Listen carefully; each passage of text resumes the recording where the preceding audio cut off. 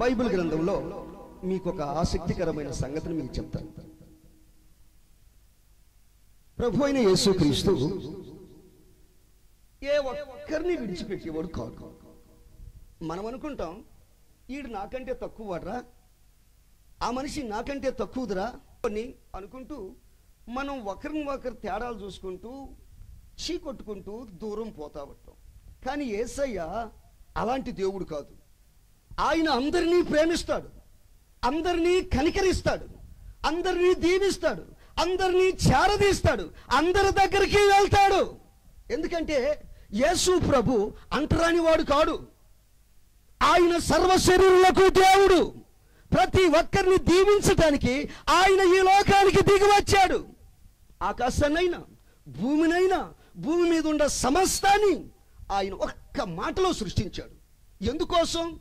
ఈ ఆకాశం ఎవరి కోసం? ఈ చంద్రుడు ఈ సూర్యుడు ఆకాశ నక్షత్రాలు ఈ భూమి ఈ భూమిలో ఉన్న విశాలమైన ప్రదేశం చక్కటి వాతావరణం ఇవన్నీ ఎవరి కోసం అయ్యంటే మన కోసం. మనం వాటికి దండం పెట్టడం కోసం కాదు. అవి మన కోసం దేవుడు ఇవన్నీ సృష్టించి కలుగునుగాక కలుగునుగాకని వాటన్నిటిని సృష్టించి చివరికి మనల్ని సృష్టించడానికి ఆయన ఏం చేశాడు తెలుసా?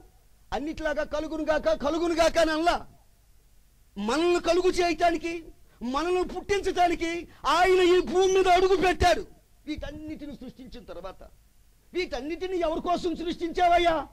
ఇవన్నీ ఎవరి కోసం? అంటే ఎవరి కోసం నువ్వు చూస్తావుగా? నువ్వు ఇప్పుడు చూస్తావుగా? అనుకుంటూ దేవుడు తన అడుగును భూమి మీద అడుగు పెట్టాడు. తల దించాడు దేవుడు. ఎవరి కోసం? ఈ మనుషుడి కోసం.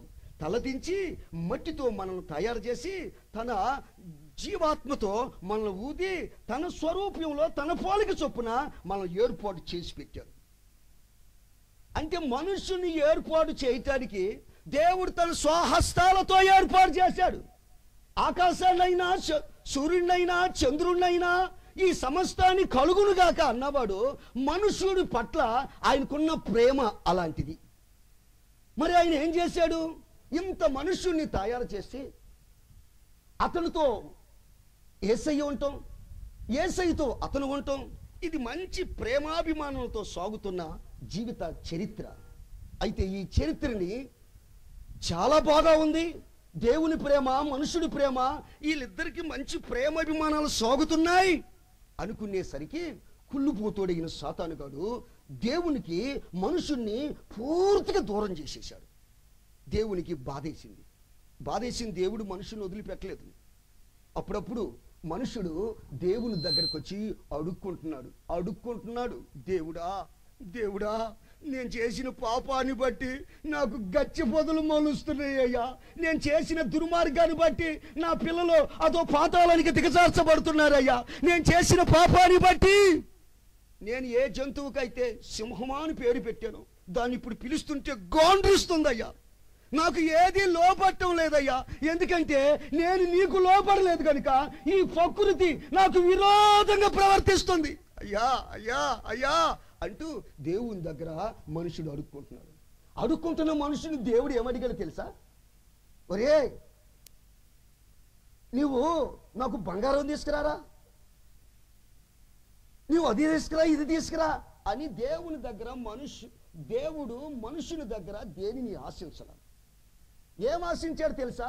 మనుషుడు ఆయన్ని ప్రేమించాలని కోరుకున్నాడు. ఇప్పుడు భిక్షగాడే వచ్చాడు అనుకో మీ ఇంటికి. భిక్షగత్తే వచ్చిందనుకో అడుక్కుంటూ చింపురు జుట్టు వేసుకొని చింపురి ప్యాంట్ వేసుకొని సినిగిపోయిన సొక్క వేసుకొని అయ్యా అయ్యాయా కొంచెం అన్నం ఉంటే పెట్టు బాబు అని మీ ఇంటికి పదే పదే వచ్చి అడుగుతున్నాడు అనుకో భిక్షగాడి దగ్గరికి వెళ్ళి భిక్ష వేస్తూ పది రూపాయలు ఇస్తూ మాసిపోయిన బట్టలు ఇస్తూ ఏరా భిక్షగాడా అయ్యా చెప్పండి అయ్యా చెప్పండి బాబు మీకు దండాలు పెట్టుకుంటా చెప్పండి అయ్యా అని అంటూ అరే భిక్షగాడ ఏమి లేదు కానీ భిక్షగాడవు "ఆ, చెప్పయ్యా. నువ్వు నన్ను ప్రేమిస్తున్నావరా? అని ఈ భిక్షగాన్ని ఈ భిక్ష వేసే వ్యక్తి అంటాడా? మీరు చెప్పండి. పోరే నీ కాడ కంపు కొడుతుందరా. ఎన్ని రోజులు స్నానం చేసావు కంపోడా? నువ్వు చూస్తుంటే రోగపోడలాగా ఉండవు. నీ రోగం నాకు వచ్చిద్దేమో ఇదిగో వేస్తున్నాను. కొంచెం దూరం ఉండరా? అని అట్టేసి వాడిని అటు పంపించాలి కానీ దేవుడు ఆ పని చేయాల. భిక్షగాడు ఎస్ భిక్షగాడు భిక్షగాడు మన దగ్గరకు వచ్చినప్పుడు మనం వాడిని దూరంగా గెంటేస్తాం. ప్రేమి ప్రేమిస్తున్నావురా అని అడగం. నీకు నేనంటే ఇష్టమేనంటలా అనం ఎందుకంటే ఈడు దరిద్రుడు ఈడు శాపగ్రస్తుడు ఈడు నన్ను ప్రేమించేదేంటి ఈడు రోగస్తుడు ఈడు నాకు ఈడు రోగం నాకు వస్తుంది అని వాడిని దూరంగా గెంటేస్తాం. కానీ ఏసయ్య మనల్ని అలా గెంటేయటంలా ఇప్పుడు ఏసయ్య దగ్గరికి మనం ఎందుకు వచ్చాం? అడుక్కోవటానికి వచ్చాం. అయ్యా మాకు సంతానం లేరు అయ్యా మేము అప్పులతో ఉన్నాం. అయ్యా మేము రోగాలతో ఉన్నాం. అయ్యా మా పరిస్థితి అదో పాతాళానికి దిగజారుస్తుంది. అని దేవుణ్ణి అడుక్కోటానికి వచ్చాం. ఎందుకు వచ్చాం? చెప్పండి మీరందరూ. దేవుణ్ణి అడుక్కోటానికి వచ్చాం. అవునా కదా? ఇప్పుడు మీరు ఏం అడుగుతారు? ఏం అడుగుతారో తెలియదు అసలు అడుగుతారు. అంటే మీరు ఎవరు? అడుక్కునేవారు. ఎవరిని అడుగుతారు? ఏ శైని అడుగుతున్నారు. అంటే మీరు ఎవరు? అడుక్కునేవాళ్ళు. మరి ఈ అడుక్కునే వాళ్ళ దగ్గరికి వచ్చి ఏమమ్మా చింపురు చుట్టమ్మాయి రోగపురాలా నన్ను ప్రేమిస్తున్నావా? అని ఏసయ్య మనల్ని అడుగుతున్నాడంటే దాని గురించి ఒకసారి ఆలోచించండి. అసలు మనం ఎవరమి? గడ్డి పూలాంటి వాళ్ళం. మనం ఎవరమి? ఎప్పుడు వాడిపోతామో తెలియదు. మన జీవితం అలాంటిది. నీటి బుడగ ఎప్పుడు వాడి ఎప్పుడు పగిలిపోతుందో తెలియదు. గడ్డుపు ఎప్పుడు వాడిపోతుందో తెలియదు అంటే మనుష్యుడు జీవితం అలాంటిది. అంటే ఈ మట్టి లాంటి మనుష్యుడు ప్రేమ దేవుడు కావాలంట. దేవుడు మన ఎడల ఆశిస్తుంది ఏంటో తెలుసా? ఈడు నన్ను ప్రేమిస్తున్నాడా? ఈడు నన్ను ప్రేమించాలి. ఈ మనిషి నన్ను ప్రేమించాలి. ఈ రోగస్తుడు నన్ను ప్రేమించాలి. ఈ ఈ వ్యక్తి నన్ను ప్రేమించాలి. అని నీ ప్రేమ కొరకు దేవుడు వేసి ఉన్నాడు. హాలలోయ. ఇప్పుడు ఒక తండ్రే ఉన్నాడు తల్లే ఉంది. ఈ తల్లిదండ్రులు పిల్లలకి ఏమని ఆశిస్తారు? ఏమని కోరుకుంటాడు? ఈ నన్ను ప్రేమించాలి. ఎప్పుడు చూసిన తన భార్యనే ప్రేమిస్తున్నాడు. దాని చుట్టే తిరుగుతున్నాడు. నేను ఇంత కానీ పెద్ద చేస్తే ఈ నన్ను పట్టించుకోవటం లేదు. ఇంత పెద్ద చేసి పెళ్ళి చేసి దాని చుట్టే తిరుగుతున్నాడు అని ఏ తల్లికైనా బాధ ఉంటుందో? బాధ ఉండదా? అంటే భార్యను ప్రేమించొద్దని కాదు నేను. అంటే వాళ్ళ మధ్య తేడా చెప్తున్నా. మళ్ళీ మీరు కొట్టుకుంటారేమో. నేను చెప్పేది ఈ తల్లి కన్న తల్లికి కన్న తండ్రికి ఈడు మమ్మల్ని ప్రేమించడం లేదు. దాని చుట్టే తిరుగుతున్నాడు దాని చుట్టే తిరుగుతున్నాడు. వీడికి పెళ్ళి చేయకపోయినా బాగుండేదే అని అంటారు. ఎందుకు? ఆడు ఆడి ప్రేమ ఈ తల్లికి తండ్రికి రావటం లేదని తల్లిదండ్రులు కుళ్ళి కుళ్ళి ఏడ్చుకుంటారు. ఇప్పుడు సృష్టికర్త అయిన దేవుడు కూడా నీవు ఆయన ప్రేమించాలని ఆయన కోరుకుంటున్నాడు. నువ్వు ఎవరు అన్నది అనవసరం నువ్వు ఎవరువైనా సరే ఏసయ్యను నువ్వు ప్రేమించాలంట. చూడండి బైబిల్లో ఒక సంగతి చెప్తాను. ఎందుకంటే బైబిల్లో చాలా మందిని అడిగాడు. పేతురు నువ్వు నన్ను ప్రేమిస్తున్నావా? నువ్వు నన్ను ప్రేమిస్తున్నావా? ఏది అబద్ధాలు ఆడేవాడు? కోపం వస్తే కత్తి తీసుకొని నరికేవాడు. సమయం దొరికితే అన్నీ వదిలిపెట్టి మళ్ళా వెనుకకు తిరిగి వల పట్టుకొని మరలా వలలు పెట్టి వలలు వేసి చేపలు పట్టుకునేవాడు. తన గురిని తన విజన్ని మర్చిపోయినవాడు. అన్నాడు అతను అడుగుతున్నాడు నీవు నన్ను ప్రేమిస్తున్నావా పేతురు? అని పలుమారులు అడుగుతున్నాడు. అంటే ఏసయ్యను మనము ప్రేమించాలి. మీరు గమనించండి మీరు ఏవేయో ప్రేమిస్తుంటారు ఏయేయో సంపాదనలో పడిపోతుంటారు ఏదేదో ఉంటుంది. మీరు ఎన్ని సంపాదించినా ఎన్ని సాధించినా ఎన్ని కూడగట్టినా ఏసయ్య లేకపోతే మన జీవితం శూన్యమైపోతుంది. ఏసయ్య ఎవరు? ఒక కులానికి ఒక మతానికి సంబంధించిన దేవుడు కాదు. ఒక వర్గానికి ఒక దేశానికి సంబంధించిన దేవుడు కాదు. ఆయన సర్వ శరీరులకు దేవుడు. ఈ లోకానికి దిగి వచ్చినవాడు ఇప్పుడు ఆయన మన ప్రేమను ఆశిస్తున్నాడు. చూడండి బైబిల్లో న్యాయాధిపతుల గ్రంథంలో ఐదో అధ్యాయం ముప్పై ఐదో వాక్యములో వ్రాయబడిన మాట ఏంటంటే ఆయనను ప్రేమించు వారు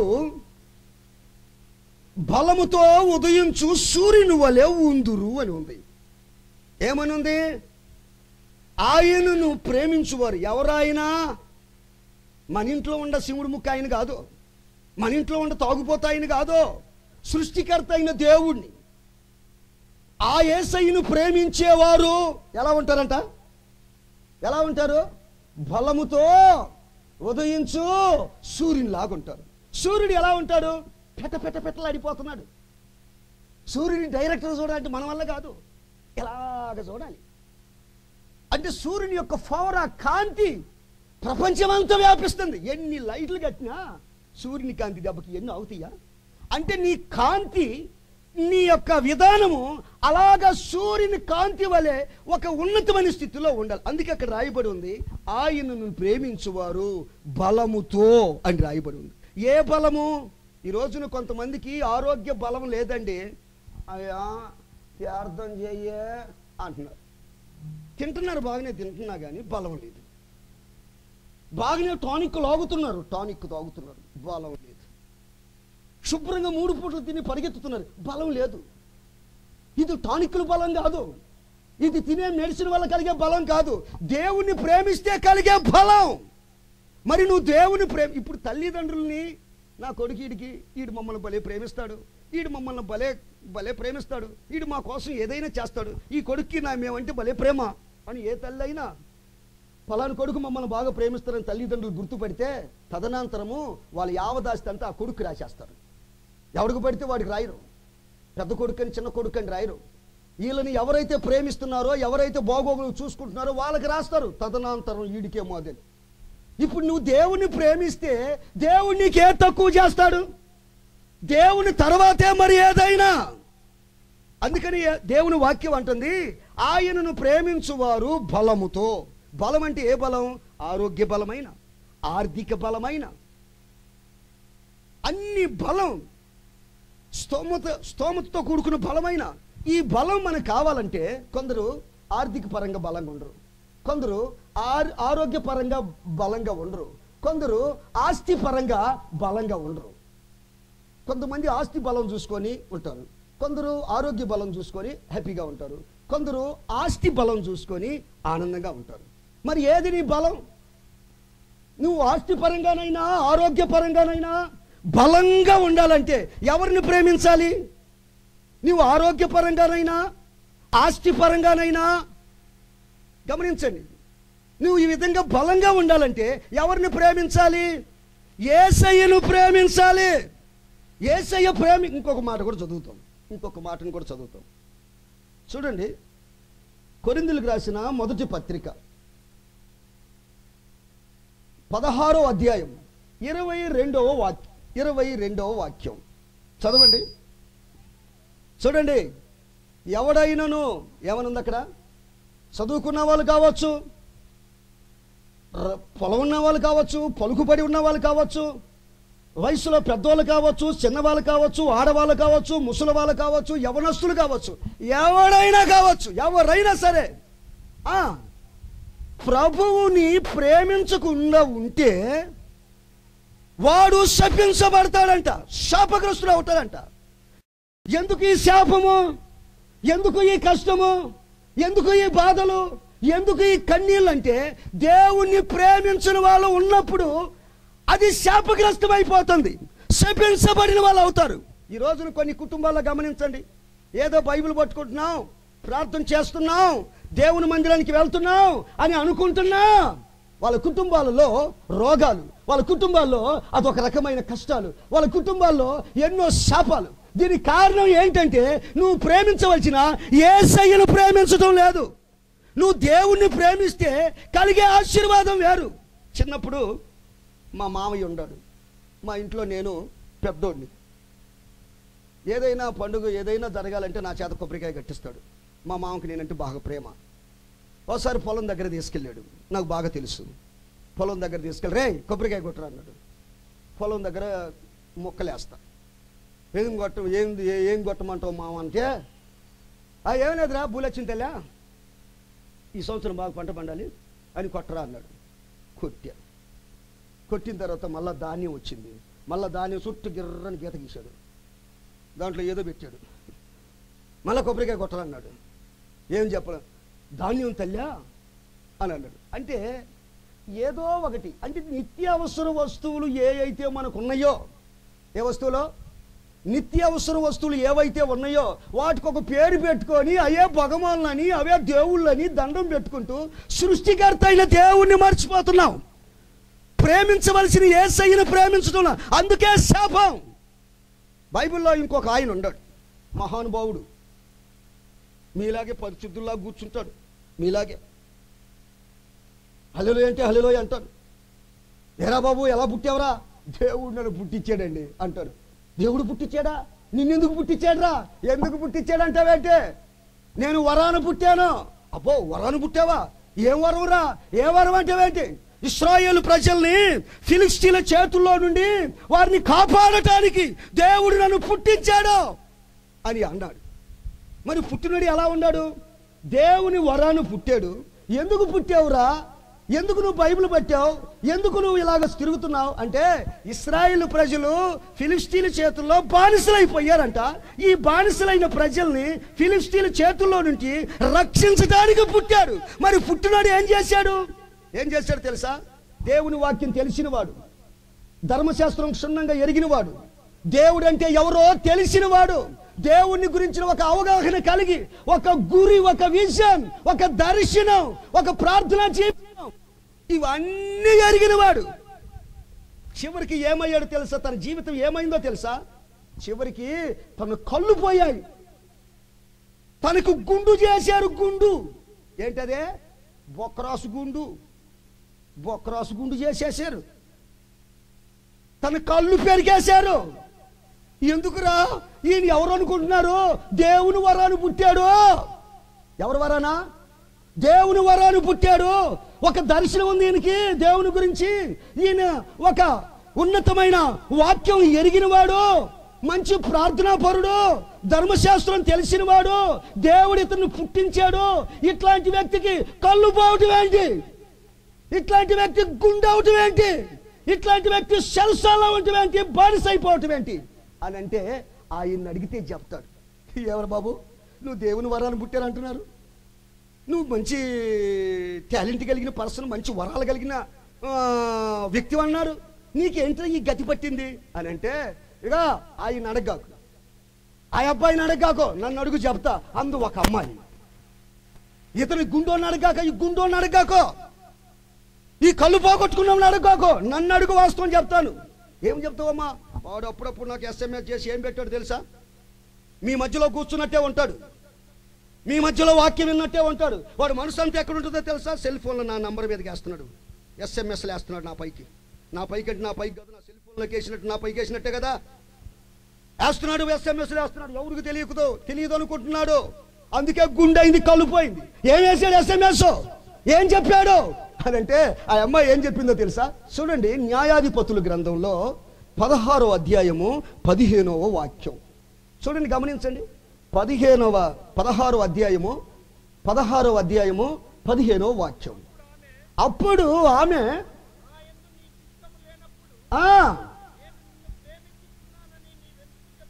ఆహా ఎవరు ఈయన? ఈయన అంటాడు ఏ Delilah I love you Delilah. ఎవరు ఇతను? ఇతను బైబిల్ పట్టినవాడు.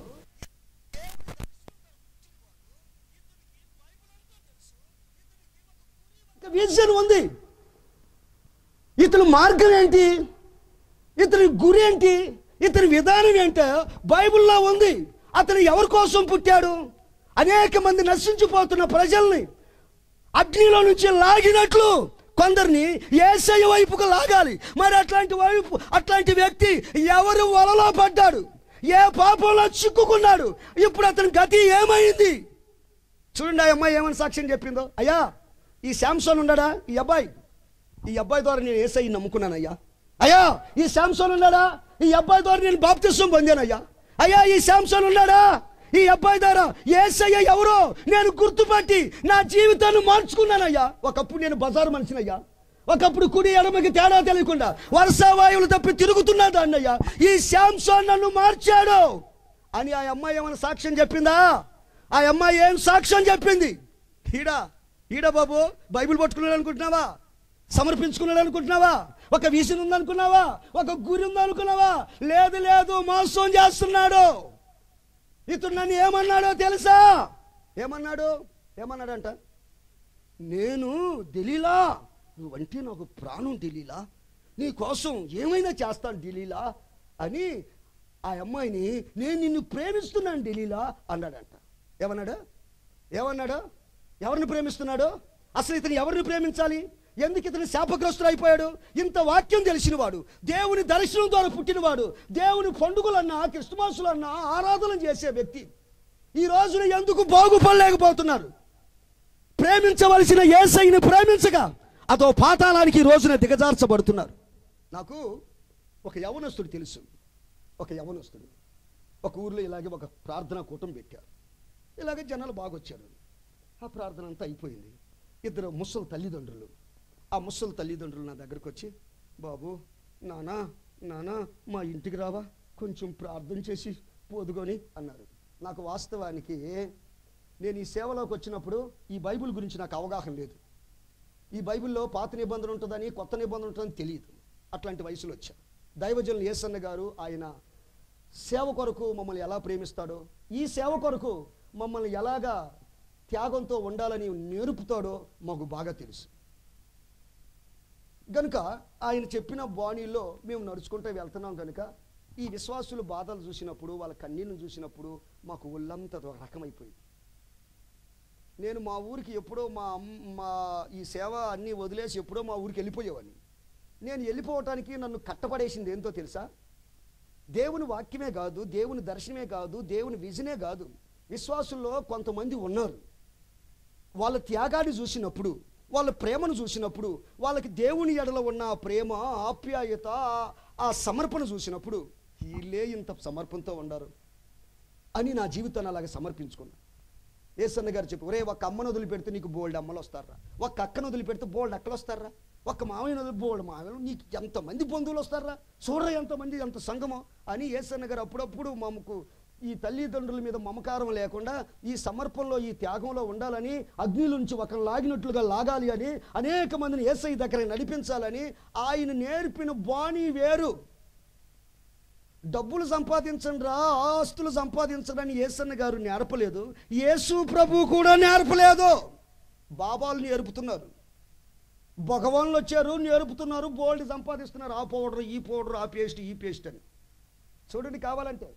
భగవాన్లు ఎంతమంది భగవాన్లు అనుకుంటూ వచ్చి ఎంతమంది సంపాదిస్తున్నారు? నేను అక్కడికి వచ్చాను. ముస్సలు తల్లిదండ్రులు. వాళ్ళ దగ్గర ఏం డబ్బులు లేవు. వాళ్ళ ప్రేమ వాళ్ళ ఆప్యాయత. నానా నానా ఒకసారి మా ఇంటికి రా బాబు అని ఆ ముసలాయన ఆ ముసలి తల్లి నా చేతులు పట్టుకున్నారు. అటు మా ఆ తల్లి పట్టుకున్న ముసలి తల్లి ఇటు ముసలాయన పట్టుకున్నాడు. ఎందుకు పట్టుకున్నారంటే నేను పడిపోతానని కాదు. వాళ్ళు పడకుండా నన్ను పట్టుకున్నారు. పట్టుకుంటే నేరుగా వాళ్ళ ఇంటికి తీసుకెళ్ళారు. ఇంటికి తీసుకెళ్తే మంచంలో ఒకడు బొనుకొని ఉన్నాడు. మనసులో పనుకొని అట్లాగా చూస్తున్నాడు. బాబు ప్రార్థన చేయయ్యా ప్రార్థన చేయయ్యా వాడికి అన్నారు. వాడిని చూస్తే బొగ్గలన్నీ లొట్టపడిపోయాయి కళ్ళన్నీ లొట్టలు పడిపోయాయి కడుపు అంత లొట్టపడిపోయింది అదొక రకంగా ఉన్నాడు పీనుగులాగా ఉన్నాడు పీనుగులాగా. అమ్మా ఈయన ఎవరో పెద్దోళ్ళలాగా ఉన్నాడే పెద్ద వయసులాగా ఉంది కదా జుట్టు కూడా ఊడిపోయింది పెద్ద వయసులాగా ఉందన్న కాదు బాబు నీకంటే చిన్నోడు నానా? అంది. నాకంటే చిన్నోడా? ఇదేంటమ్మా అన్న. అప్పుడు ఈ తల్లిదండ్రులు అంటారు మా కర్మయ్య మా కర్మ బాబు. ఈడేదో పుట్టాడు పెద్దోడవుతాడు గొప్పోడవుతాడు. మేము ముసలోళ్ళమై మంచంలో పడితే మాకన్నీ చూస్తాడు అనుకున్నామయ్యా మాకన్నీ తిండి పెడతాడు అనుకున్నామయ్యా ఈడు రోగస్తుడయ్యి ఇదిగో ఈ విధంగా పడిపోతే నేనే ఈయన బాత్రూమ్కి తీసుకెళ్ళాలయ్యా. నేనే ఈడికి బట్టలు వేయాలయ్యా. నేనే ఈడికి అన్నం తినిపించాలయ్యా. మా కర్మయ్యా మా కర్మయ్యా. ఈడి మీద ఎన్నో ఆశలు పెట్టుకున్నానయ్యా. ఈడు ఇట్లాగే ఉంటాడయ్యా పైకి లేకవలేడయ్యా మమ్మల్ని చూసుకుంటాడు అనుకున్నానయ్యా అని ఆ తల్లిదండ్రులు బొల్లుమని ఏడ్చారు. నాకు కళ్ళల్లోంచి నీళ్ళు వచ్చేసాయి. అసలుకి నేను ఆడవను మహా కఠినొస్తుంది ఎందుకో బాధ వేసింది ఏడిచాను కళ్ళ నీళ్ళు వచ్చింది వాడిని చూశా. వాడంటాడు ఏమైందిరా నీకని అడిగా. అన్నా అన్నా అన్న నేను వయసులో ఉన్నప్పుడు నాకు బలం ఉంది శక్తి ఉంది. రాండ్లో చూసుకుందాం అనుకుంటూ విర్ర వీగేలల్లా నేను చేయని పాపం లేదన్నా నేను చేయని అక్రమం లేదన్నా నేను తిరగని తిరుగు లేదన్నా.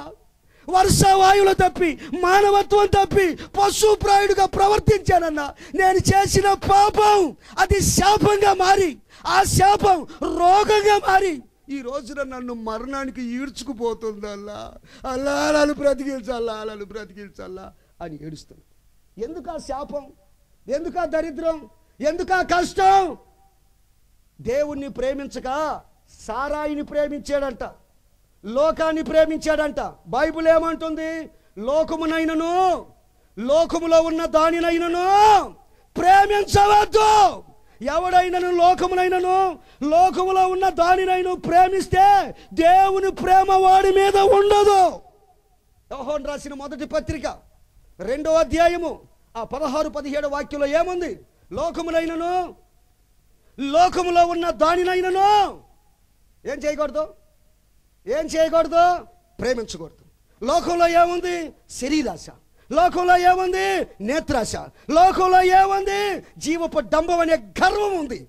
మరి వీటిని చూసుకుంటా నీ జీవితాన్ని పాడు చేసుకుంటే నువ్వు ఏమైపోతావు? అలనాడు శాంసన్ ఏమయ్యాడు? వాళ్ళ జీవితం ఎలాగో పతనం అయిపోయింది.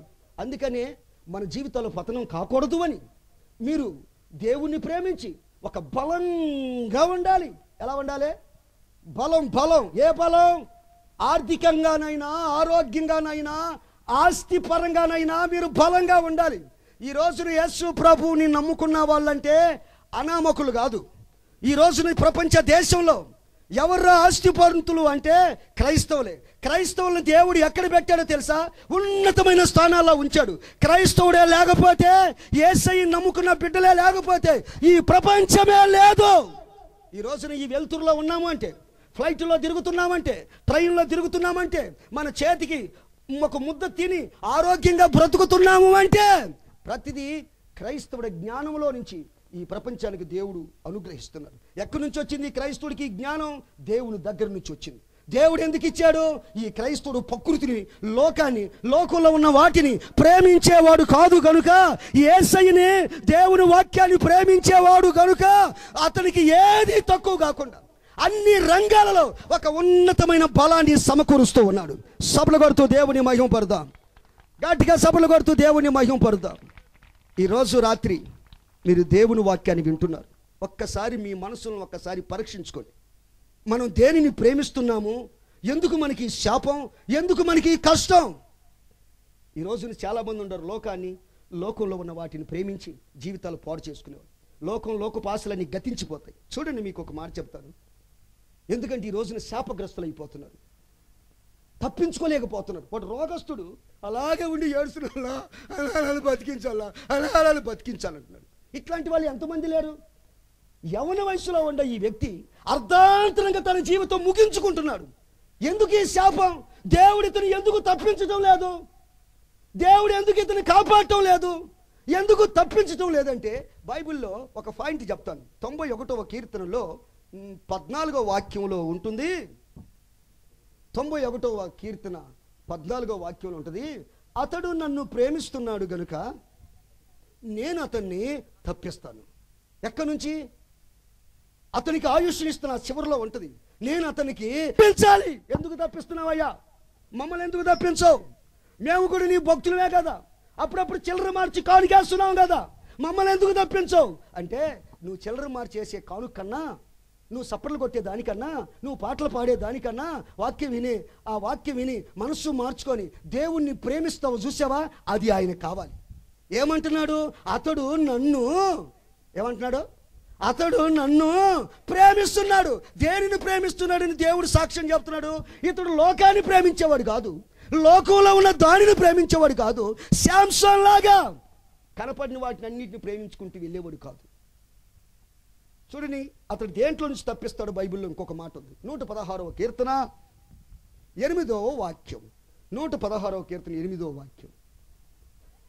మరణం నుండి చూడండి మరణం నుండి ప్రాణాన్ని కన్నీళ్ళు విడవకుండా కన్నులను జారిపడకుండా పాదాలను తప్పిస్తావు. తప్పించాడా లేకపోతే తప్పిస్తాడా? తప్పించాడు. ఎప్పుడు తప్పించాడు? ఆ పై వాక్యం కూడా చదవండి. ఎప్పుడు తప్పించాడు?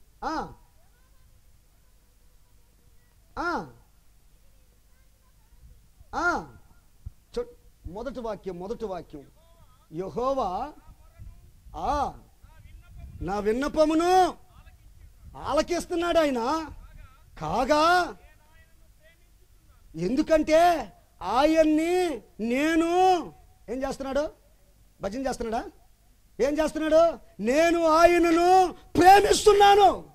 ఆయన్ని నేను ప్రేమిస్తున్నాను కనుక మరణం నాకు రాకుండా కళ్ళల్లో నుంచి కన్నీళ్ళు రాకుండా నా కాలు జారి పడకుండా ఆయన నన్ను తప్పిస్తున్నాడు. ప్రైజ్ అలాడ్ హాలలోయ ఈ రోజున అనేక మంది రకరకాల అపాయాల్లో రకరకాల రోగాలలో కాలు జారి పడ్డాడయ్యా మా వాడు. మా పాప కాలు జారిందయ్యా ఎప్పుడు ఎడిపోయిందో తెలియదయ్యా. ఎక్కడికి ఏం జరిగింది? ఆ కుటుంబాల్లో ఎందుకు రోగం? అంటే బైబిల్లో ఉంది. ఆయన సాక్ష్యం చెప్తుంది. నేను ఆయనను ప్రేమిస్తున్నాను కనుక మరణం నాకు రాకుండా కళ్ళల్లో కన్నీళ్ళు రాకుండా నేను జారి పడిపోకుండా ఆయన నన్ను తప్పిస్తున్నాడు. ఎప్పుడయ్యా అంటే మనము ఎవరిని ప్రేమించాలి? ఎవరిని ప్రేమించాలి? ఏసయ్యని ప్రేమించాలి. అందుకని ఏసయ్యని ప్రేమించే ఒక మంచి లక్షణము మనకు ఉండాలి. ఏసైని ప్రేమిస్తున్నందుకు ఏసైని ప్రేమించారు. దేవుడు వాళ్ళని తప్పిస్తా వచ్చాడు. మీరు దానియలనైనా షడక్ మేషక్ అభెజ్ఞగోళ్ళనైనా మీరు అడుగు తెలుసుకోండి బైబిల్లో. వాళ్ళు ఏమని సాక్ష్యం చెప్తారు? వాళ్ళు విగ్రహారాధన దేశంలో ఉన్నా వాళ్ళు సామాన్యులుగా జీవించిన షడ్రక్ మేషక్ అభెజ్ఞగోళ్ళని తీసుకెళ్ళి ఎక్కడ పడేశారు? షడ్రక్ మేషక్ అభెజ్ఞగోళ్ళు అంటే ఎవరు యవన యవ్వన వయసులో ఉన్నవాళ్ళు. మంచి టీనేజ్ వయసులో ఉన్నవాళ్ళు. మరి వీళ్ళు ఎలా ఉండాలి? ఆ విగ్రహారాధన ప్రాంతంలో మీలాగే రకరకాల పండుగలు జరుగుతుంటాయి ఆ ప్రాంతంలో. అందరితో పాటు తందనాలు దొక్కేవాళ్ళు కాదు. అందరితో పాటు డ్యాన్స్ చేసేవాళ్ళు కాదు. ఎవరో ఒకరు అన్నారు అరే ఈ షడ్రక్ మేషక్ అభ్యర్థనగోలు వీళ్ళెవర్రా? ఏ ప్రాంత ప్రజలరా? వీళ్ళు మన దేశానికి వచ్చి మన దాగరికత్త ప్రకారం నడుచుకోవటం లేదు. మన గాలి పిలుస్తున్నారు మన అన్నం తింటున్నారు మన జీతాలు తీసుకుంటున్నారు. వీళ్ళ సంప్రదాయాలు ఎట్లా వేరుగా ఉన్నాయి? అని షడ్రక్ మేషక్ అభ్యర్థనగోల్ని ఎలాగైనా సరే ఇరకాటంలో పెట్టాలని వాళ్ళని ఎలాగైనా సరే సంపాలి అని కొంతమంది మతస్థులు వాళ్ళ మతం అనే ఆ మతంలో పడిపోయి వీళ్ళని లేకుండా తుదముక్తించాలని శతవిధాల ప్రయత్నాలు చేసి ఈ షడ్రక్ మేషక్ అభ్యర్థనగోలు ఎలాగా మనకు లొంగరో చూద్దాం అని రాజుగారికి ఏయో మాయం మాటలు చెప్పి ఒక పండుగ చేశారు తిరునాళ్ళ చేశారు. ఆ తిరునాళ్ళలో ఒక పెద్ద విగ్రహాన్ని పెట్టారు. ఏంటదే?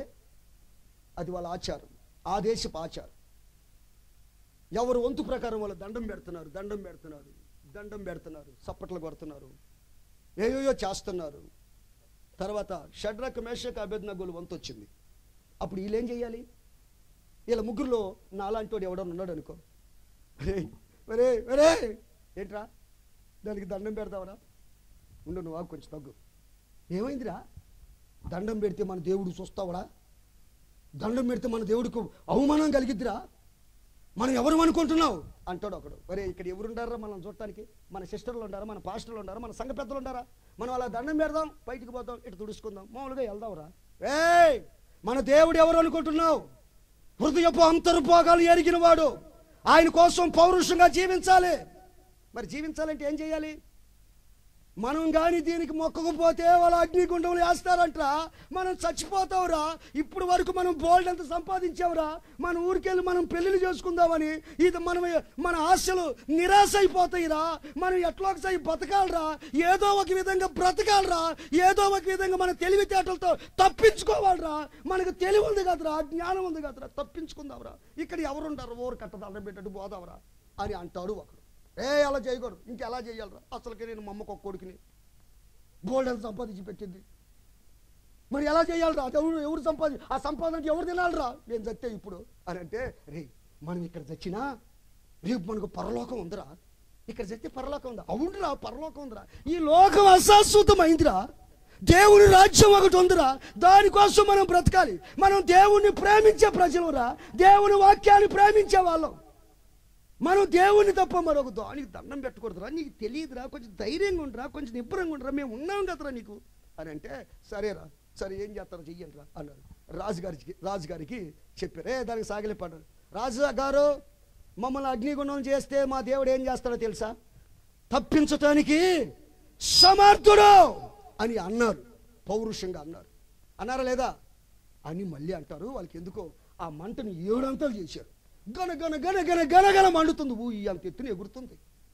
ఆ మంటను చూసేసరికి నాలంటోడు ఎవడు వాడు? ఒరే ఏడంతలు అయిపోయింది అది. అసలుకే నల్లగా ఉన్నాను మంటలు పడితే ఇంకా నల్లంగా అయిపోతాను. ఒరే ఒరే కొంచెం మనసు మార్చుకోండి నా కోసం అన్న. నా కోసం అని జాలి నోరు ముయ్యరా నోరు మొయ్ మనకు దేవుని గురించిన ఆలోచన ఉందా నీకో? నోరు ముయ్యరా డబ్బు కాదు లోకం కాదు. ఈటింగ్ కథలను చూడాల్సింది. దేవుని చూడరా దేవుడు దేవుని తర్వాత మనకు ఆయన ఏమి ఏర్పరచాడు దాన్ని గమనించురా ఆయన రాజ్యాన్ని గమనించురా. అని అన్నారు. అన్న తర్వాత ఇంకో ఆయన వాళ్ళు అంటారు రాజుగారు అగ్ని ఏడంతలు చేసావా? మమ్మల్ని అగ్నిలో వేస్తావా? మమ్మల్ని మా దేవుడు రక్షించకపోయినా పర్వాలా? మేము సావనైనా సస్తాము కానీ ఈ లోకాన్నైనా లోకంలో ఉన్న దానినైనా మేము ప్రేమించమా? దానికి సాగిల పడము? మా దేవుణ్ణి ఆరాధిస్తాం మా దేవుణ్ణి నమ్ముకుంటాం మా దేవుణ్ణి ప్రేమిస్తున్నాం. ప్రేమించే వాడి కోసం మేము ఏసైని ప్రేమిస్తున్నాం. ఏసఐ కోసం ప్రాణమైన పెడతామండి అంటున్నారు. ఎవరి కోసం? ఎవరి కోసం? నాకు ఇద్దరు ప్రేమికులు తెలుసు. గడికోసారి హల్లులే చెప్పండి. గాంధీ పార్కులో ఇద్దరు ప్రేమికులు ముచ్చటగా ప్రేమించుకున్నారు. బ్రదర్ బ్రదర్ సిస్టర్ సిస్టర్ అనుకుంటా. సవ తర్వాత ఏమైపోయిందో తెలియదు. ఈ బ్రదర్ బ్రదర్ సిస్టర్ సిస్టర్. తర్వాత వాళ్ళు ప్రేమలో పడిపోయారు. ఒకరినొకరు ప్రేమించుకుంటున్నారు. ఒకరొకరు చూడలేక అదొక రకమైన ప్రేమ. ఆ ప్రేమ ఎట్లుంటుందో తెలిసి అనుభవించిన వాళ్ళు తెలుస్తుంది. ఒకే కొబ్బరి బొండలు రెండు స్ట్రా రెండు స్ట్రాలు వేసుకొని ఒకటే తాగుతున్నారు కూల్ డ్రింక్స్ ఒకటే కూల్ డ్రింక్స్లో. డబ్బులే కాదు ఆ ప్రేమ అలాంటిది. నిద్రపోయినా ఎరా రవి ఎట్టుండావు? కలవరిస్తా ఉంటుంది. ఆ మనిషి అక్కడ కలవరిస్తుంటాడు ఈడు ఇక్కడ కలవరిస్తూ ఉంటాడు. ఒక రోజున వాళ్ళ నాన్న చెప్పాడు రే ఏంట్రా కలవరింతో?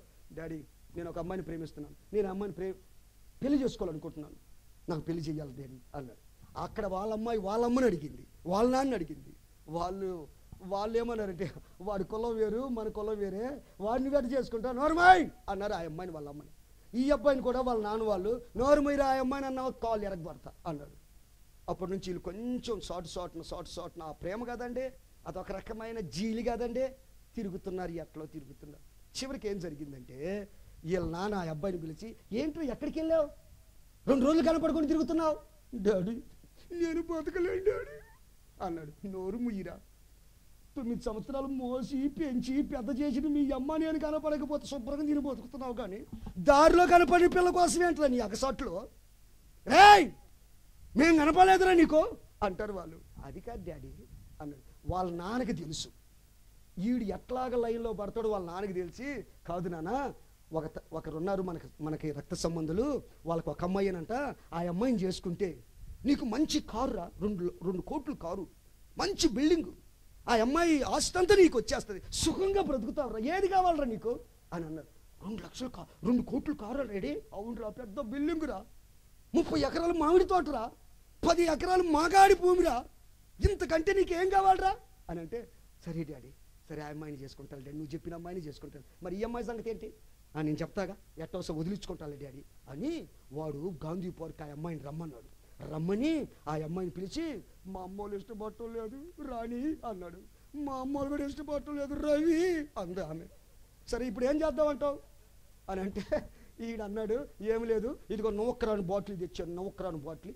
ఇద్దరు చెరు కోసం తాగేసి చచ్చిపోదాం అన్నాడు. ఈ అమ్మాయి ఏడ్చుకుంటూ వాడు ఒళ్ళు వాలింది. పాపం ఏం చేద్దాం? మన శాంసన్ కూడా అట్లాగే వాలాడు. ఈ అమ్మాయి వాలింది. తర్వాత లేపాడు.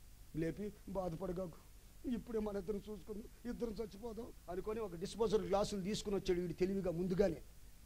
డిస్పోజల్ గ్లాసులు తీసుకుని వచ్చి నోక్రాని బాటిల్ పోసాడు అటు కొంచెం ఇటు కొంచెం పోసాడు ఇది తాగితే నాకు చేదుగా ఉంటుంది. కొంచెం దమ్సప్ కూడా కలుపుకుందాం. అని దాంట్లో దమ్సప్ ఆ అమ్మాయికి దమ్సప్ కలిపాడు. వీళ్ళు ఒకే స్ట్రాలో తాగొచ్చుగా?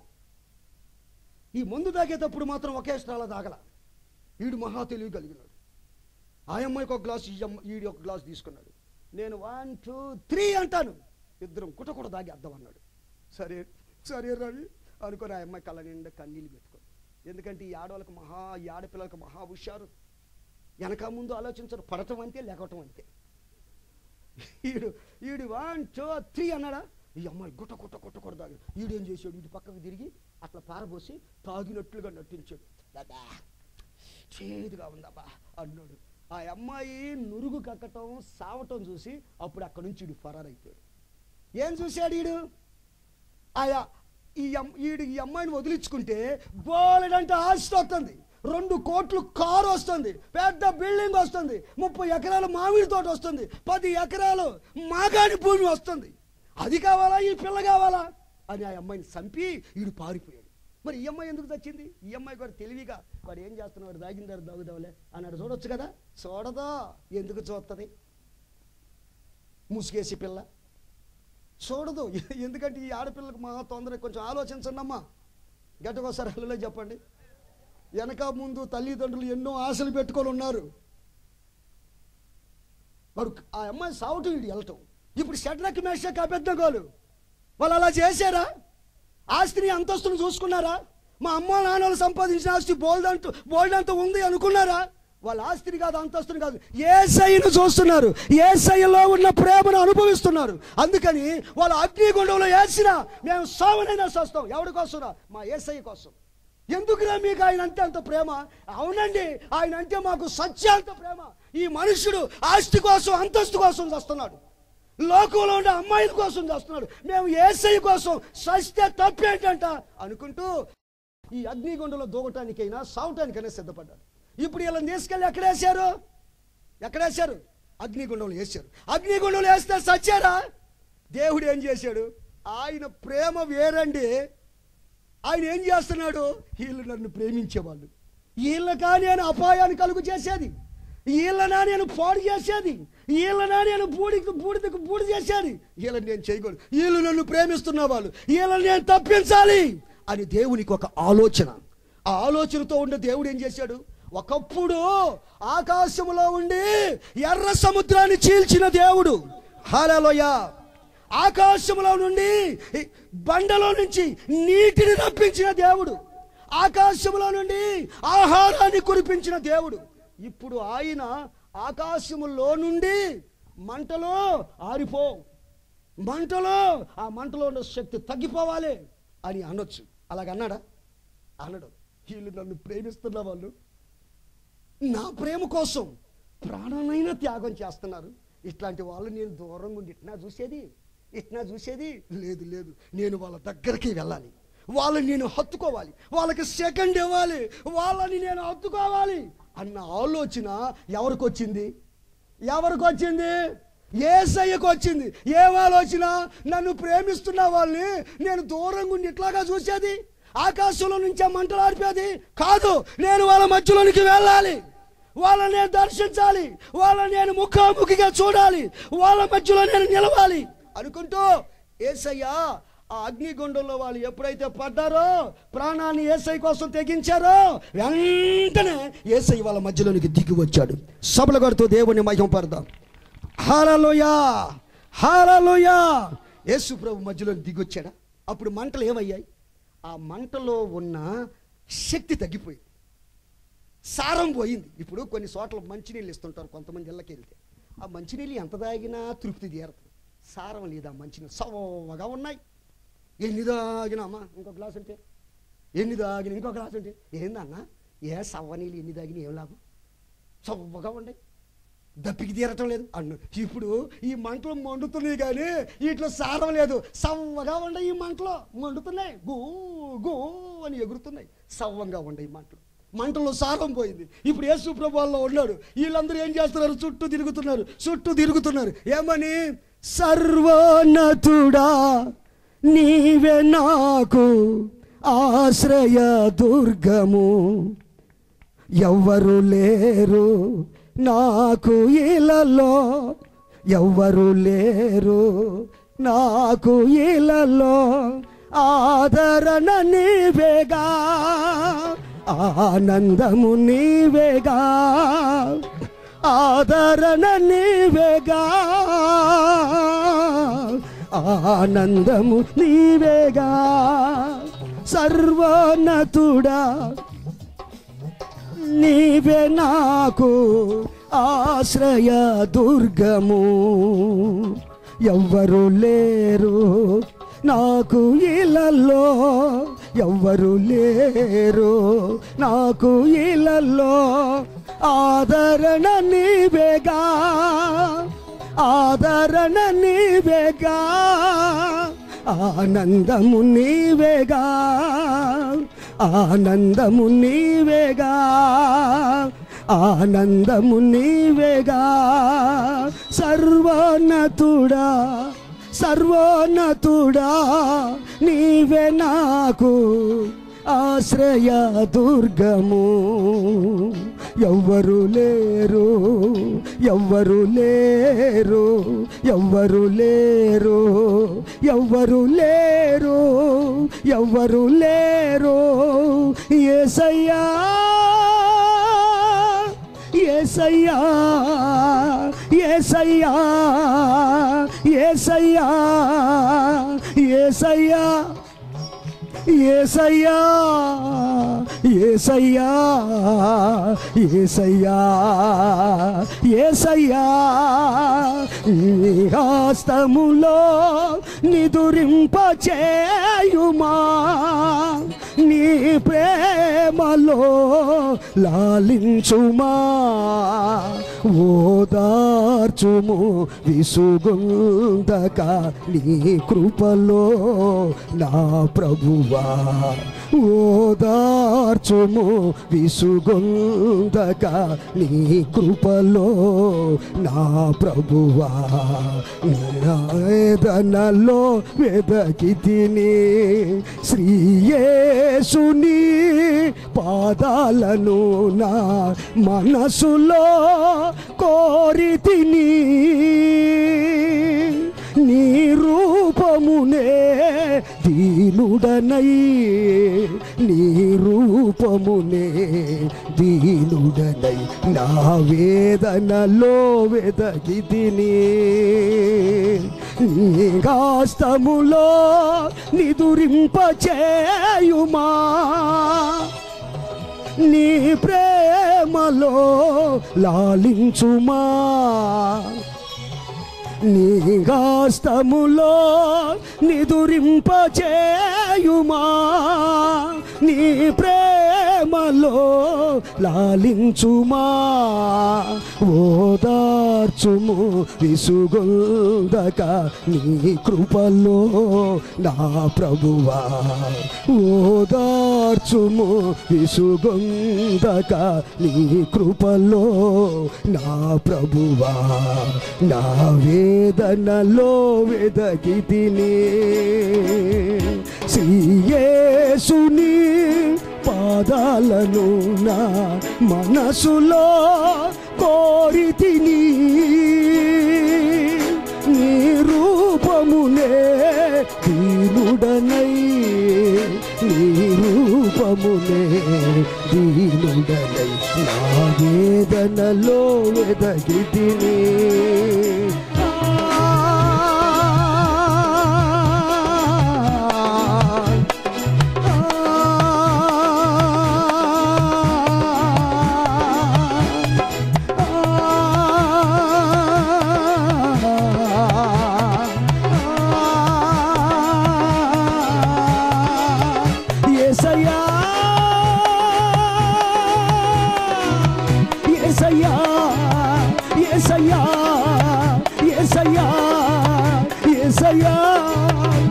ఏసయ్యా ఏసయ్యా ఏసయ్యా.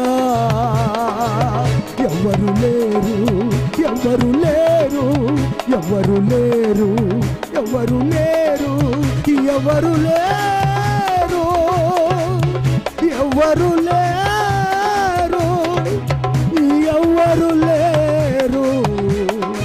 నాకు ఇలలో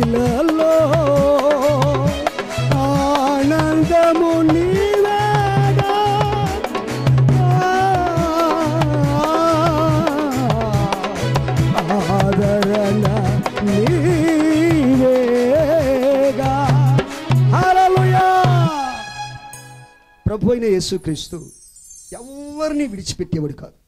నీవు ఆయన ప్రేమిస్తే మరణంలో నుంచైనా నీ కళ్ళల్లో కన్నీళ్ళు రాకుండా నువ్వు జారిపడకుండా అన్ని విధాల నిన్ను కాచుకుంటూ నిన్ను తప్పించుకుంటూ వస్తాడు. అలనాడు దావీదును తప్పించాడు. షడ్రక్ మేషక్ వాళ్ళని తప్పించాడు. దానియాలను తప్పించాడు. అన్ని విధాల వాళ్ళని కాపాడుకుంటూ వస్తున్నాడు. ఎందుకు? వారు ఏసైని ప్రేమించేవాళ్ళు. లోకాన్ని ప్రేమించేవాళ్ళు కాదు. అందుకే మనం ఏసైని ప్రేమించే వాళ్ళమే. అయితే నువ్వు ఏ స్థితిలో ఉన్నా సరే నువ్వు దీర్ఘాయుషును పొందుకుంటావు. నువ్వు అనుకున్నాయన్నీ దేవుడు నీకు జరిగిస్తాడు. నీ కళ్ళలో కన్నీళ్ళు రాకుండా ఏ మరణపాయం నీ కలగకుండా నీ కాలు జారి పడిపోకుండా నిన్ను ఆదుకునే దేవుడు ఒక ఆయన ఉన్నాడు. ఆయన యేసు. నీకు శత్రువులు ఉండొచ్చు. ఈ రోజున మీరు గమనించండి. నేను ఈ తెలంగాణ ప్రాంతాల్లో తిరుగుతున్నాను కొందరు వస్తుంటారు. ఏయ్! సౌండ్ తీసాయి! ఎవరు కట్టమన్నావు అని కొన్ని మరణకాండాలు చేస్తున్నారు గొడవలు చేస్తున్నారు అల్లరి చేస్తున్నారు.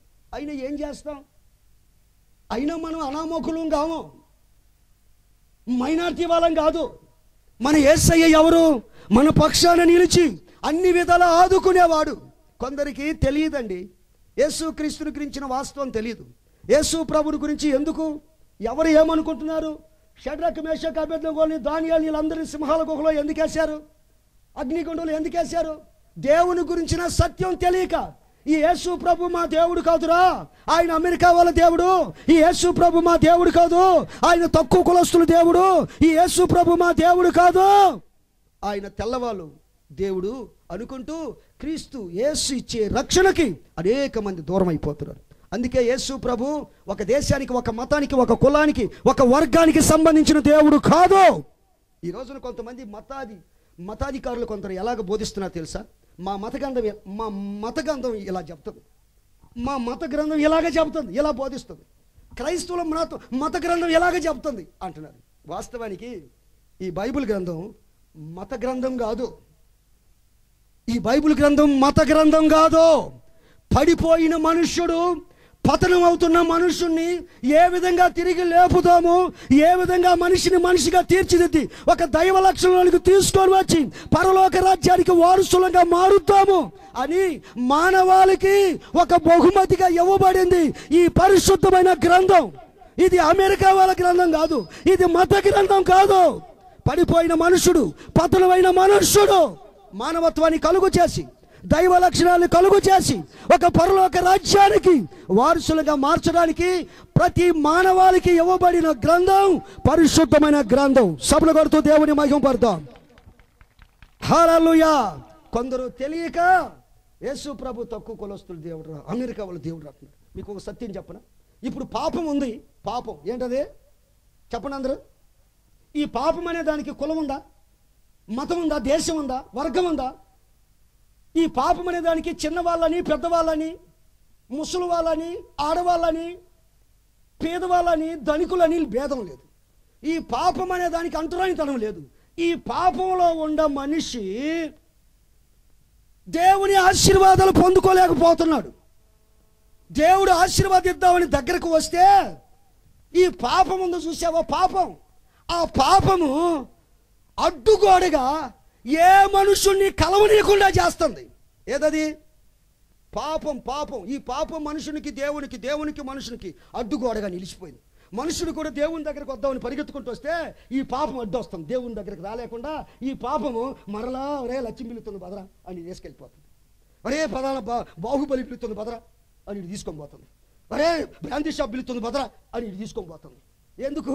ఈ బలహీనత ఈ పాపం అనే బలహీనత వాడి దేవుని దగ్గరికి రానివ్వటం లేదు. ఈ పాపం అనే అడ్డుగోడ అడ్డు వచ్చేసింది దేవుడు మనుషుని దగ్గరికి వద్దామంటే అడ్డుగోడ వచ్చేసింది.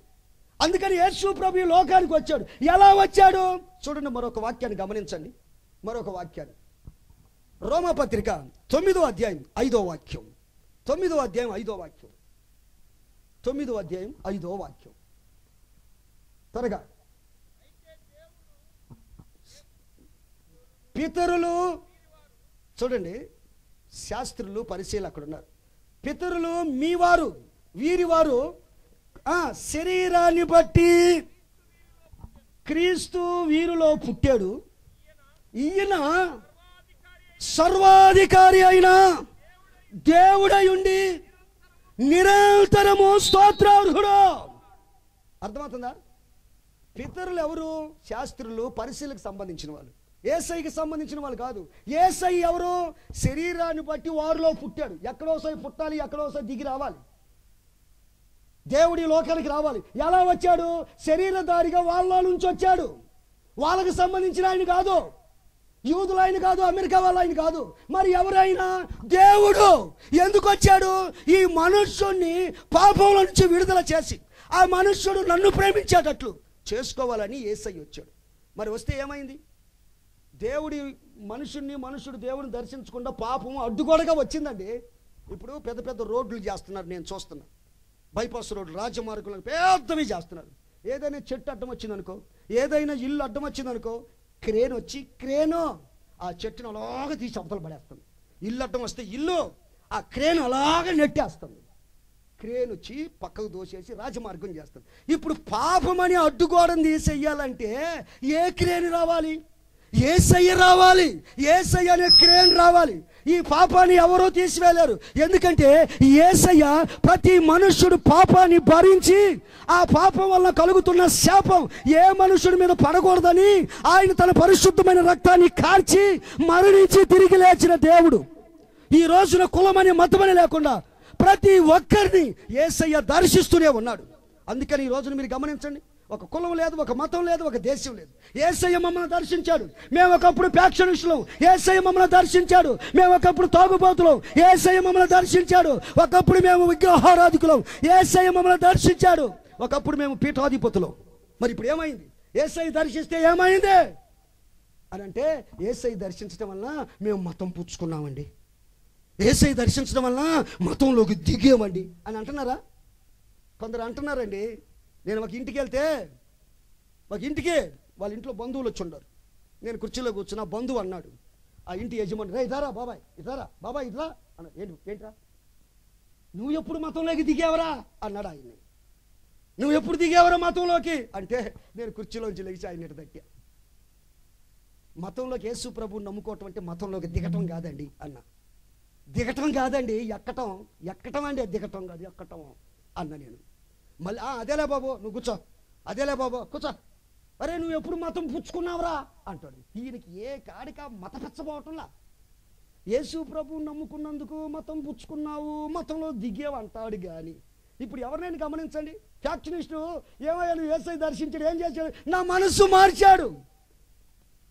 నేను మానవత్వం కలిగి జీవిస్తున్నాను. ఒకప్పుడు నేను ఫ్యాక్షన్స్ ఒకప్పుడు తోగుపోతున్నాను ఏసై నన్ను దర్శించడం వల్ల నా హృదయం తెరవబడింది. ఒక పరిశుద్ధమైన మార్గంలో నడుస్తున్నాను. దైవ భయం కలిగి నడుస్తున్నాను. అంటున్నారు. మరి ఇట్లాంటి వాళ్ళు ఏమంటాం? దేవుణ్ణి ప్రేమిస్తున్న వాళ్ళు అంటాం. నాకు ఇంకొక చిన్న సందర్భం చెప్తాను. త్వరగా ముగిస్తున్నా. ఇంకొక మాట చెప్తాను. ఎందుకంటే ఏసైను ప్రేమించే వాళ్ళు ప్రేమిస్తే ఎన్నో ఆశీర్వాదాలు ఉన్నాయి. ఇవన్నీ మీకు చెప్పడం కుదరదు. ఏసైను ప్రేమిస్తే ఆయన క్షమిస్తాడు అని ఏసయ్యను ప్రేమిస్తే శాశ్వతమైన కృప దయచేస్తాడు అని ఏసయ్యను ప్రేమిస్తే పరలోక రాజ్యం అనుగ్రహించబడుతుందని వాక్యంలో చెబుతున్న సత్యం. వాటన్నిటిని మీకు వివరించి వివరించి వివరించి మీ హృదయంలోకి చొచ్చుకునేటట్లుగా చెయ్యాలని ఆశ ఉంది కానీ కానీ టైం సరిపోవటంలా నాకు చెమట పుడుతుంది. గట్టిగా ఒకసారి చెప్పండి. గట్టిగా ఒకసారి హలో చెప్పండి. మీకు ఒక మాట చెప్తాను. నేను ఒక సందర్భం తెలుసు. నేను చిన్నప్పుడు చూశాను. ఒక అబ్బాయి వంద రూపాయల కాగితాన్ని చిన్న అబ్బాయి ఆడుకుంటున్నవాడు ఇలా చించేసాడు చించేసేసరికి వాళ్ళ నాన్న చూసాడు అప్పుడే పంచర్ వేసుకుంటున్నాడు వాళ్ళ నాన్న. వీడు వంద రూపాయలు చించేసేసరికి వాళ్ళ నాన్న కోపం వచ్చి వాడిని చంపకు పెట్టి పటా పటామని కొట్టి వాడు కాలు ఇలా పెట్టి ఇలా తొక్కి పైకి లేపాడు. పంగ చీల్చబడింది. ఎందుకు? ఈ తండ్రికి ఏమంటే పిచ్చ? మీరు చెప్పండి. ఏమంటే పిచ్చ? డబ్బు అంటే పిచ్చ? డబ్బు కోసం ఎవరు కుతికైనా పిసుకుతాడు. డబ్బు కోసం బతికుండ నాన్నైనా సమాధిలో దించేసి వస్తాడు. అక్కడే చావురా తదనంతరం నాకు వస్తుంది ఆస్తి. నువ్వు చస్తే కానీ రాదు నాకు ఆస్తి. అని తండ్రినైనా అని పెట్టి వస్తాడు అంటే డబ్బు కోసం మనుషుడు ఎలాంటి కక్కురుది అయితే చేస్తున్నాడు. ఏమి లాభం? ఏ డబ్బు ఏ ఆస్తి నిన్ను కాపాడలేదు. కొంతమంది ఉంటారు. డబ్బును చూసుకుంటూ డబ్బును చూసుకుంటూ ఆస్తులను చూసుకుంటూ. బైబిల్ ఏమని సమా ఏమని సాక్ష్యం చెబుతుందో తెలుసా?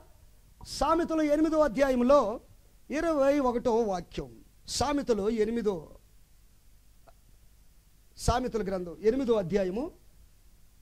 ఇరు చూడండి దేవుని వాక్యం ఏమంటారు? నన్ను ప్రేమించే వారిని ఆహా దేని కర్తలు? అప్పులు కాదు. ఇందాక అన్న సాక్ష్యం చెప్పాడు. దేవుడు నన్ను తలెత్తుకునేటట్టు చేశాడు.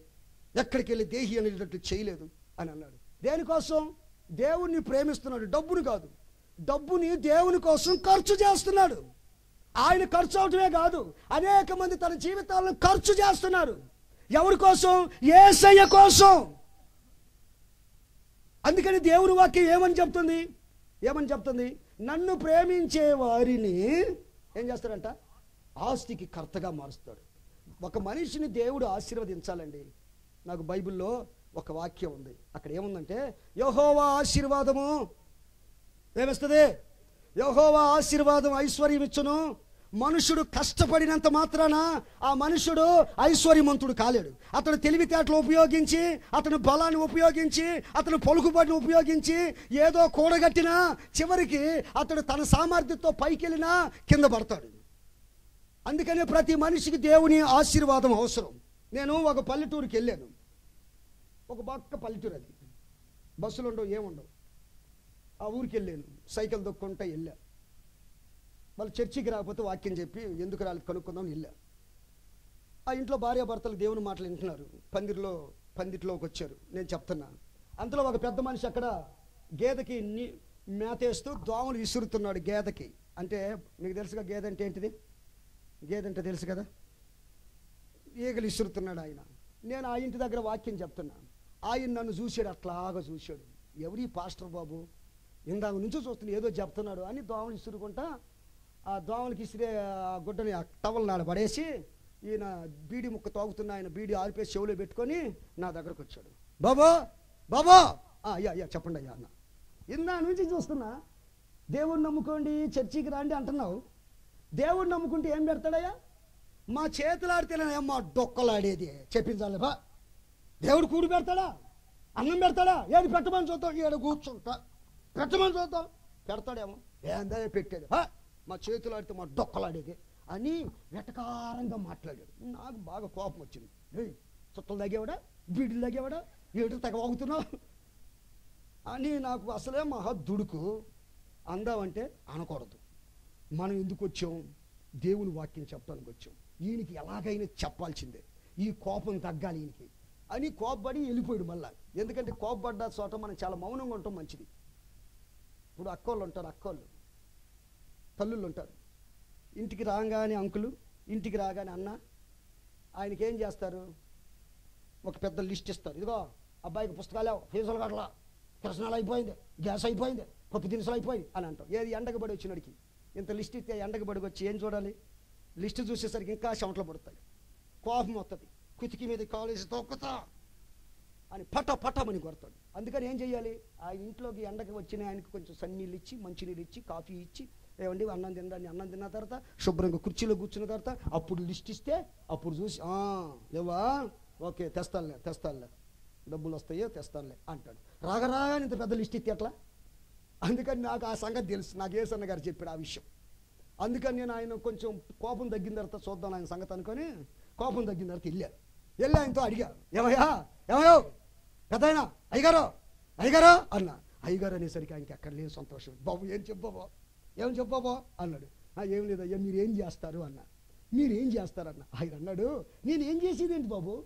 చిన్నప్పటి నుంచి ఇంత వయసు నుంచి నేను కష్టజీవిని బాబు. అని ఇట్ట చూపించాడు. కష్టజీవిని బాబు నాకు చేతగాని పని అంటూ ఏమీ లేదు. నేను అన్ని పనులు చేస్తాను. అన్నాడు. ఏం పని చేస్తాను నేను చేతకాని పని లేదంటే అది ఏం చేస్తా అన్ని పనులు అది ఏం పని చేస్తున్నావు? తాపి పని చేస్తా. మొక్కలు నాటడానికి వెళ్తా. నారు పనికి వెళ్తా. ఆటో నడుపుతా. లారీ నడుపుతా. ఇల్లు కప్పుతా. అన్ని పనులు చేస్తాను బాబు అన్నాడు. అవునా? మరి ఇప్పుడు ఎంత సంపాదించావు? చిన్నప్పటి నుంచి కష్టజీవి కదా. ఇప్పుడు ఎంత సంపాదించావు? అన్నా. అంటే ఆయన అంటాడు ఏంటి నా బొంద సంపాదించి ఏందయ్యా సంపాదించి నా బొంద అన్నాడు. అదేంటయ్యా? అన్నాడు ఇట్లా నా ఇల్లు చూసుకుంటా అన్నాడు. వాళ్ళు ఇంటికి వెళ్ళారు ఇంటికి వెళ్ళాడు చూస్తే అలా పైన సూర్యుడు కనబడుతున్నాడు ఇంట్లో. నాకేదో కొంచెం మంచినీళ్ళు పోతే ఆ గ్లాసు పది సొట్ల పోయి ఉంది. కూర్చో బాబు అంటే ఆ మంచం ను- నులుకులు మంచం కూర్చున్నట్టు నేను జారిపడతా ఏంటయ్యా ఇయ్యానంటే మా తాతల తాతల కాలం నుంచి ఇదే మంచం ఇదే మంచ ఇదే కంచం ఇదే ప్లేటు ఇదే గ్లాసులు ఇదే ఇల్లు. ఏం మారలేదా? ఎదుగుదల లేదా? ఆశీర్వాదం లేదా? అని అంటే ఆయన అంటాడు ఏం ఆశీర్వాదం బాబు? ఏదో ఈ నెలలో నాలుగు వేలు మిగిలినాయి అనుకున్నా. ఎంత? ఎంత చెప్పండి? నాలుగు వేలు రూపాయలు మిగిలినాయి అనుకున్నా. మిగిలినాయి అనుకునేసరికి నా భార్య దగ్గుది. దగ్గు ముఖం ఉంది. ఓరకు దగ్గు. దగ్గుతుంది. రాత్రిలో దగ్గుతుంది. నాకు అన్నం పెట్టేటప్పుడు దగ్గుతుంది. కూర ఉండదు దీని దగ్గు వినలేక హాస్పిటల్కి తీసుకెళ్ళా ఆ నెలలో. తీసుకెళ్తే ఆ డాక్టర్ ఏం చేసాడు ఒత్తి ఒత్తి చూసి నెమ్ము జబ్బు ఉంది అన్నాడు నాలుగు వేల రూపాయలు వదిలినాయి. ఏది? ఈ నెలలో నాలుగు వేలు మిగిలింది అనుకుంటే హాస్పిటల్ వాళ్ళు పోయినాయి. హాస్పిటల్ పాలైపోయి తర్వాత రెండో నెల రెండు వేలు మిగిలింది రెండు వేలు మిగిలి అనుకుంటే మాకు ఒక ఎచ్చలోడు ఒకడు ఉన్నాడు మా మా అబ్బాయి మా మా కుర్రోడు మా కొడుకు. మహా ఎచ్చలోడు వాడికి మామూలు ఎచ్చలోడు కాదు మహా ఎచ్చలు ఆ ఎచ్చలోడు ఏం చేశాడు? ఆటో ఎక్కపోయి కాలేరు కొట్టుకున్నాడు. రెండు వేల రూపాయలు పోయా. నా నేను సంపాదించిన డబ్బు హాస్పిటల్ పోలో వడ్డీ పోలో ఏదో ఒక విధంగా నష్టమైపోతుంది బాబు. ఎక్కడ సంపాదన? అన్నాడు ఆయన.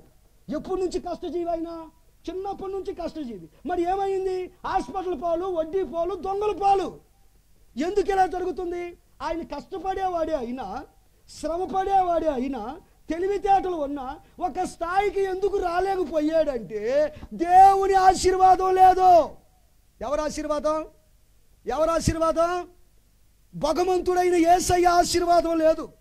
ఏసయ్య ఎవరు? ఆయన పరిశుద్ధుడు పరిశుద్ధుడైన ఏసై ఆశీర్వాదం నీ మీద నిలిచిందనుకో ఆ ఆశీర్వాదంలో జీవం ఉంటుంది. ఒక చెట్టులో జీవం ఉంటే చెట్టు చెట్టు. ఆ చెట్టులో జీవం ఉంటే ఎట్టుంటుంది? యోపుగా ఎదిగింది. ఎదగొద్దన్నా కానీ ఎదుగుతూనే ఉంటుంది. బోల్డ్ ఫలాలు ఇస్తుంది. అదే ఆ చెట్టులో జీవం లేదనుకో ఎప్పుడు చూసినా అట్లే ఉంటుంది. సూర్య ముఖం బేబా పచ్చడుంటే ఉంటే అమ్మాయి అని ఎప్పుడు అడుక్కోవటమే ముఖం అంత దూరం సద్ది ముఖం అయిపోతుంది. ఎందుకు? జీవం లేదు. దేవుని ఆశీర్వాదం అనే జీవం లేదు. దేవుని ఆశీర్వాదంలో జీవం ఉంది. ఆయన ఆశీర్వాదం ఈ రాత్రి మా మీద మా పిల్లల మీద మా కుటుంబం మీద నిలవాలి అని కోరుకోవాలి. ఎందుకంటే ఏసయ్య పరిశుద్ధుడు క్రామ క్రోధ మధుమత్యాలేని దేవుడు ఆయన ఆశీర్వాదం నీ మీద నిలిస్తే ఇక ఆశీర్వాదాన్ని ఎవరు తీసివేయలేరు. అలాంటి ఆశీర్వాదం ఏసయ్య ఇచ్చే ఆశీర్వాదం. ఎందుకు ఆయన ఆశీర్వాదులు అంత శక్తి? ఎందుకు ఆయన ఆశీర్వాదులు అంత జీవం ఉందంటే ఆయన పరిశుద్ధుడు. ఆయనకు కామం లేదు. ఎవరో ఒక కామం లేదు క్రోధం లేదంటే ఎట్లాగ లేదు చెప్పనా? ఎవరో ఒక తల్లి మీలాంటి తల్లి ఒక తల్లి నా దగ్గరకు వచ్చింది. ముసలి తల్లి. ముసలి తల్లి. వచ్చి నన్ను అంటది బాబు. అందరూ ప్రార్థన చేసావా చేశాను. వెళ్ళిపోయారా? వెళ్ళిపోయి. కనబడుతుంది? వెళ్ళిపోయి. ఇలా నువ్వు కూడా వెళ్ళొచ్చు కదా అది కాదు బాబు నిన్ను ఒక మాట అడుగుదామని అంది. ఏంటి అడుగు అన్న? అడిగంట ఆ- ఆ తల్లి అంటది. ఏం లేదు బాబు నాకు యేసు ప్రభుని చూస్తుంటే జాలి వేస్తుంది అంది. ఏమేస్తుంది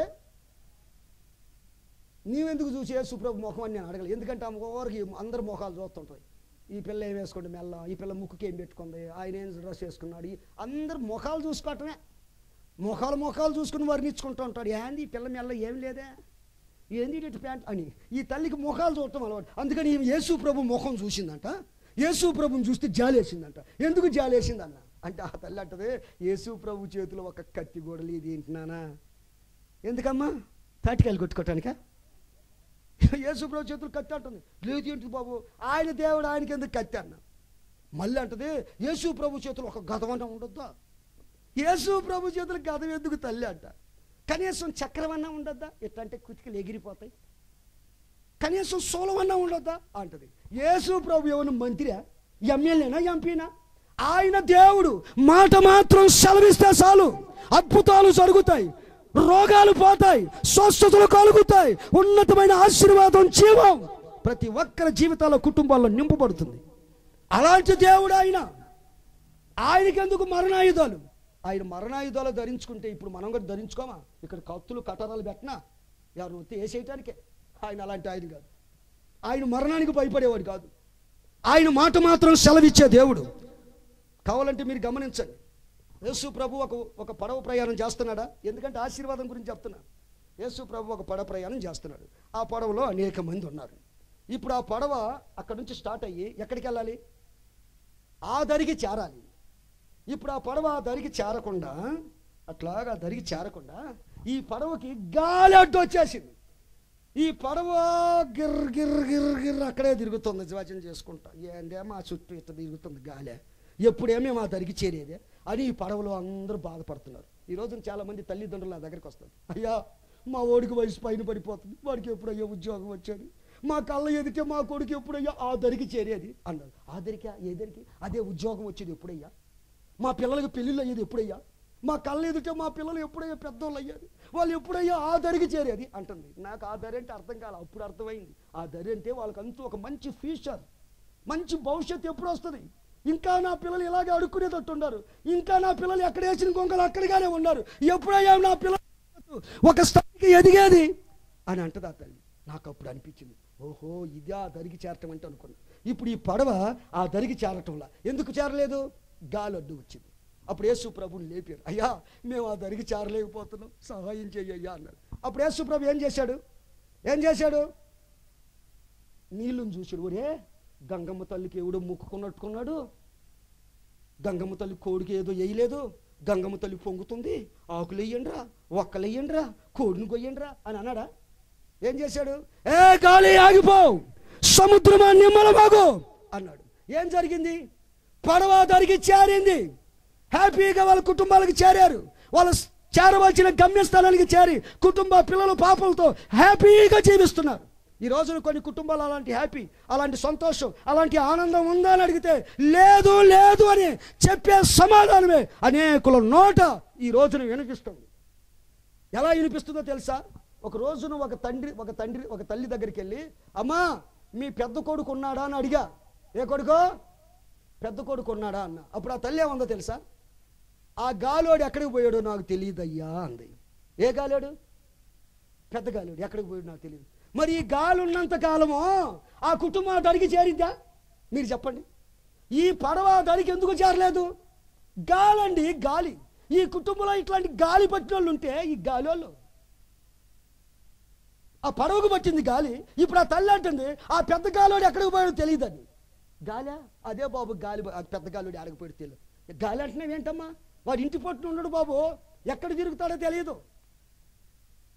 పెదిగాడు ఎదిగాడు బాగా గాసెట్టులాగా ఎదిగాడు అంటదా తల్లి. ఎక్కడికి పోయాడు తల్లి? ఆ గాలోడు అడుగు. మరి ఈ గాలోడు ఉన్నంత కాలం ఆ కుటుంబం ఆశీర్వదించబడుతుందా? ఆస్తి కర్తలుగా మార్చబడతారా? మరి ఏసయ్య ఏం చెయ్యాలి? ఆ గాలిని గద్దించేది ఏసయ్య. మనిషిని మనిషిగా తీర్చిదిద్ది ఒక మానవత్వాన్ని కలుగు చేసి ఒక ఆశీర్వాదాన్ని దయచేసేది ఏసయ్య. మీరు కావాలంటే బైబిల్లో మీరు ఒక చిన్న సందర్భాన్ని చదవండి. చదవండి ఒక మాట త్వరగా. ద్వితీయోపదేశకాండం పదమూడో అధ్యాయము. పదమూడో అధ్యాయం ఐదో వాక్యం. ద్వితీయోపదేశకాండం పదమూడో అధ్యాయం ఐదో వాక్యం. ఐ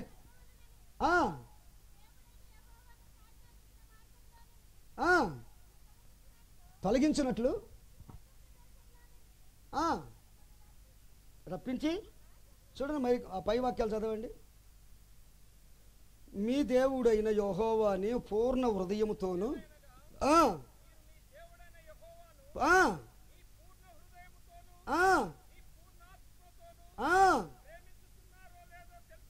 తెలుసుకొనుటకు యెహోవా. ఆహా మీకు అర్థమైంది మాట? ఆ పైన చదివితే మీకు అర్థమవుతుంది. ఏం పరీక్షిస్తున్నాడంటే కొందరు బాబాలను పంపిస్తున్నాడంట. అక్కడ ఉంటుంది. మీరు ఎరగని బాబాలను పంపిస్తున్నాడంట దేవదూతలు. దే దేవుళ్ళు అనేవాళ్ళు. మీరు ఎరగని దేవుళ్ళను పంపిస్తున్నాడంట. ప్రవక్తలను పంపిస్తున్నాడంట. మాకు కళ వచ్చింది దర్శనం వచ్చింది అంటున్నారంట. ఏ అద్భుతాలు మహత్కార్యాలు చేస్తున్నాము అనే వాళ్ళని పంపించాడు. ఇదిగో ఇప్పుడు ఎక్కడ జరుగుతుంది? రా పదరా అని అంటున్నారు. హే మేము రామరా విగ్రహాల కాడికి మేము ఏసైని ఆరాధిస్తున్నాం అని నువ్వు అంటావో లేదో అని దేవుడు పరీక్షిస్తున్నాడు. అక్కడ ఏం చేశాడన్నదో తెలుసా? అద్భుతాలు మహత్కార్యాలు చేస్తున్నాయి అంటే విగ్రహాలు కూడా.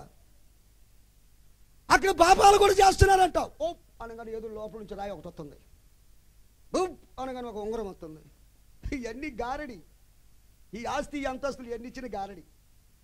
మీకు ఇవన్నీ నేను ఇప్పుడు చెప్పలేండి అక్కడ రాయబడి ఉంది. ఇట్లాంటి ఇట్లాంటి వాళ్ళందరూ ఎంతోమంది వస్తారు. మీకు తెలియని దేవతలు వస్తారంట. వాళ్ళందరూ వచ్చి ఏ అద్భుతాలు చేస్తారంట. మీరు వాళ్ళ దగ్గరికి వెళ్తారో లేదో అని దేవుడే వాళ్ళని మీ మధ్యలోనికి పంపిస్తున్నాడంట. ఎందుకు పంపించాడు? మీరు హృదయం పూర్ణ హృదయంతో పూర్ణాత్మతో దేవుణ్ణి ప్రేమిస్తున్నారో లేదో తెలుసుకోవడానికి కొన్ని బాబాల్ని కొన్ని దేవుళ్ళు అనే దేవతల్ని మన మధ్యలోనికి పంపిస్తున్నాడు.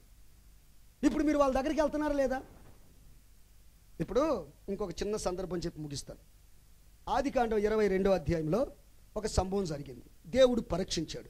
ఏం పరీక్షించాడంటే అబ్రాహాం అనే ఆయన్ని సకల జాతులు వారికి దీవెనకరంగా మార్చాలని సకల జాతులు వారికి ఆశీర్వాదకరంగా మార్చాలని ఈయన సంతానం మూలంగా సర్వ ప్రపంచ జనమందరూ ఒక ఉన్నతమైన స్థాయిలో దీవించబడాలని ఎన్నో ఆశీర్వాదాలు ఈ అబ్రాహాం మీద ఉంచ ఉంచాలని దేవుడు ఎంతో తహతహలాడిపోతున్నాడు. బాగా తహతహలాడిపోతున్నాడు. ఈయన ఆశీర్వదించాలి ఈయన ఆశీర్వదించాలి ఈయన పిల్లల్ని ఆశీర్వదించాలి ఈయన దీవించాలని తహతహలాడిపోతున్నాడు. ఇలాగ ఆశీర్వదించాలని కోరుకుంటున్నప్పుడు లేక లేక లేక లేక లేక లేక కొన్ని సంవత్సరాల తర్వాత ఆయనకు ఒక కొడుకు పుట్టాడు. ఎవరు పుట్టారు? ముసల వయసులో పుట్టాడు. కొడుకు పుట్టగానే ఒకప్పుడు కొడుకు పుట్టినప్పుడు దేవుడా నీవే నాకు దిక్కయ్యా. కొడుకులు లేరు కూతురు లేరు అల్లులు లేరు మనవలు లేరు ఎవరు లేరు. ఇక అంతా నీవే భగవంతుడా అనుకున్నాడు అబ్రహాం. కొడుకు పుట్టిన తర్వాత అంటాడు ఒరి కొడుక ఇంతకాలం నీకోసమే ఎదురు చూశాను రా సత్యము కూడా. ఒరి బక్కడా నువ్వు నాకు లేక లేక పుట్టావురా నువ్వు లేకపోతే నేను బతకలేను కొడుక. అని వాడిని భుజాల మీద వేసుకుంటున్నాడు ముద్దు పెట్టుకుంటున్నాడు. వాడు ఒకటి రెండు ఎన్ని వేసినా వేసేయరా నేను తుడుచుకుంటాను ఆయన తుడుచుకుంటాను కానీ నిన్ను మాత్రం ఎందుకు వదులుతాను రా కొడుక? నీకోసం ఇంతకాలం ఇన్ని సంవత్సరాలు ఎదురు చూశాను అని అంటున్నాడు. దేవుడు చూశాడు. దేవుడు చూసి ఓరి అబ్రామా నీకు లేక లేక కొడుకిస్తే వాడి మీద ఎంత ఆశ పెట్టుకున్నావంటరా? ఉండి నీ పని చెప్తా అని దేవుడు దర్శించి ఏ అబ్రాహాం అని ఏమన్నాడు? ఆ ఇరవై రెండో అధ్యాయులు చదవండి. నీకు ఒక్కగాని ఒక్కడై ఉన్నా నీ కుమారుణ్ణి ఎన్నో వాక్యం? రెండో వాక్యం. అది నీవు ప్రేమిస్తున్నా వెళ్ళి మళ్ళా చదవండి పై వాక్యం చదవండి. అప్పుడు ఆయన అది ఇప్పుడు దేవుడు యేసు ప్రభు దేవుని వాక్యం ఏమంటుంది? రెండుంటే ఒకటి లేనివాడికి ఉంది అవునా కదా? మీరు ఇవ్వద్దులే చెప్పండి. దేవుని వాక్యం ఏం చెప్తుంది అది చెప్పండిలే. మనం అదేగా చెప్పే చేసేది ఏముంది రెండుండవాడు లేనివానికి ఒకటి ఇవ్వమని ఉంది మరి ఇప్పుడు అబ్రాహంకి ఎంతమంది ఉండారు? ఒకడే. మరి ఒక్కని ఎందుకు అడుగుతున్నాడు? ఒక్కని అడుగుతున్నాడంటే ఏదో ఆశ ఉందండి దేవునికి. అతని పట్ల ఎంతో ఉద్దేశం ఉంది. అయితే ఇతను ఎవరిని ప్రేమించాడు? మళ్ళా చదవండి. నీకు అనగా అనగా అని మళ్ళీ అంటున్నాడు. ఒక్కడై ఉండడు వదిలిపెట్టలా. ఒక్కగాని ఒక్కడో నీ కుమారుని వదిలిపెట్టలా. అనగా అని ఎందుకు అన్నాడంటే దేవుణ్ణి వదిలేసి కొడుకునే ప్రేమిస్తాడు కొడుకుని ప్రేమించొద్దని కాదండి దేవుని ఉద్దేశం. దేవుని కంటే ఎక్కువగా ప్రేమించొద్దని. దేవుని కంటే ఎక్కువగా నువ్వు దేనిని ప్రేమించకూడదు అని. అలా ప్రేమిస్తే నీకు ప్రమాదం అని. అందుకని ఏమంటాడు? అనగా ఇస్సాకును తీసుకొని వెళ్ళి ఆ, చూసావా? అర్పించడానికి ఇష్టపడ్డాడు. తీసుకెళ్ళాడు. తీసుకెళ్తుంటే వాళ్ళ కొడుకు ఎంతోడు కట్ల మోపు నెత్తిని పెట్టుకొని వెళ్తా ఉన్నాడు. డాడే డాడే! ఆ, ఏంట్రా? కట్టలు నా దగ్గర ఉన్నాయి. అగ్గి పెట్టే నీ దగ్గర ఉంది. బలికి గొర్రె పిల్ల ఎక్కడుంది డాడీ? అంటున్నాడు ఇంత పిల్లోడు. వాడికి దేవుని దగ్గరికి వెళ్ళేటప్పుడు బలిపీఠం దగ్గరికి వెళ్ళేటప్పుడు అంటే మందిరానికి వెళ్ళేటప్పుడు గొర్రెపిల్ల ఉండాలి కదా బైబిల్ ఉండాలి కదా చేతిలో బైబిల్ ఏదో డాడీ. సెల్ఫోన్లో అయితే నీ కూడా ఒకటి నాతో కూడా ఒకటి అమ్మ కాడ ఒకటి అన్నీ ఉండయి కానీ బైబిల్ ఏది మనకే.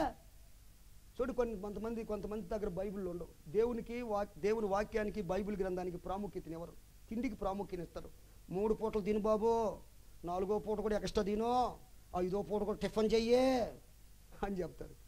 బైబిల్ చదువుకోరా బైబిల్ గ్రంథం ఖర్చు కొనుక్కోరు ఎంత ఖర్చు అయిన పర్లే అని చెప్పరు. చూడండి చిన్న పిల్లవాడికి క్రికెట్ గురించి మాట్లాడటం లేదు సినిమా గురించి మాట్లాడటం లేదు. గొర్రె పిల్ల ఇది డాడీ అన్నాడు. ఏ దేవుడు చూసుకుంటాను రా ముందురా అంటున్నాడు. కఠినంగా మాట్లాడుతున్నాడు. చిన్న చిన్న ముద్దు ముద్దు కాళ్ళు అడుగులు వేసుకుంటా అడుగులు వేసుకుంటా. మూడు రోజులు ప్రయాణం చేస్తే ఎన్ని రోజులు? ఎన్ని రోజులు? మూడు రోజులు ప్రయాణం చేస్తే ఆ తండ్రిలో ఏ మార్పు రాలా? దేవుడా నేను నిన్నే ప్రేమిస్తున్నానయ్యా. ఇన్ని కాదు ప్రభు ఇన్ని కాదయ్యా. ఇన్నికి ఇచ్చేస్తున్నానయ్యా. నేను నిన్నే ప్రేమిస్తున్నానయ్యా. నేను నిన్నే ప్రేమిస్తున్నానయ్యా. నేను నిన్నే ప్రేమిస్తున్నానయ్యా. అని మూడు రోజులు ప్రయాణం నిన్నే ప్రేమిస్తున్నాను నిన్నే ప్రేమిస్తున్నాను అనుకుంటా వెళ్ళాడండి. ఒప్పుకున్నాడు. తర్వాత బలిపేట మీద బలి పెట్టాడా? కత్తి అలా ఎత్తాడా? అబ్రహాం ఆపు అన్నాడు. ఎందుకయ్యా? మరి బలి కావాలి కదా? అదిగో ఆ పొదలో చిక్కుకున్న గొర్రె పిల్లని చూడు అన్నాడు. ఎందుకు?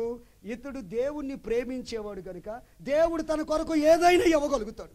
మీరు ఈ సందర్భం నేను అబ్రాహం గురించి ఎందుకు చెప్తున్నానంటే అబ్రాహాం పద్దెనిమిదో అధ్యాయంలో నాలుగో వాక్యంలోను పద్దెనిమిదో అధ్యాయం నాలుగో వాక్యంలోను ఎనిమిదో వాక్యంలో ఉంటుంది అబ్రాహాం ఇంటికి పాస్టర్లు వస్తే నాలాంటి పాస్టర్లు అబ్రాహాం ఒక చెట్టు కింద కూర్చోబెట్టి ఆ చెట్టు కింద భోజనం పెట్టి ఆ చెట్టు కింద వాళ్ళ సేద తీర్చుకునేదాకా ఆ చెట్టు కింద అబ్రాహం కూర్చున్నాడు.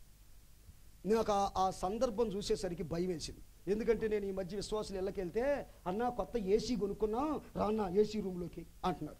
అన్న కొత్త ఏసీ కొనుక్కున్నా ఏసీ అత్త ఉండు అని అంటున్నారు. మరి అబ్రాహాం ఇంటికి సేవకులు వెళ్తే ఏసీ రూమ్లో కూర్చోబెట్ల ఇంట్లో కూర్చోబెట్ల ఫ్యాన్ కింద కూర్చోబెట్ల మండు కింద ఒక చెట్టు కింద కూర్చోబెట్టాడు. ఏంటి అబ్రాహాం మమ్మల్ని చెట్టు కింద కూర్చోబెట్టావంటే అయ్యా నాకు సరైన ఇల్లు లేదు.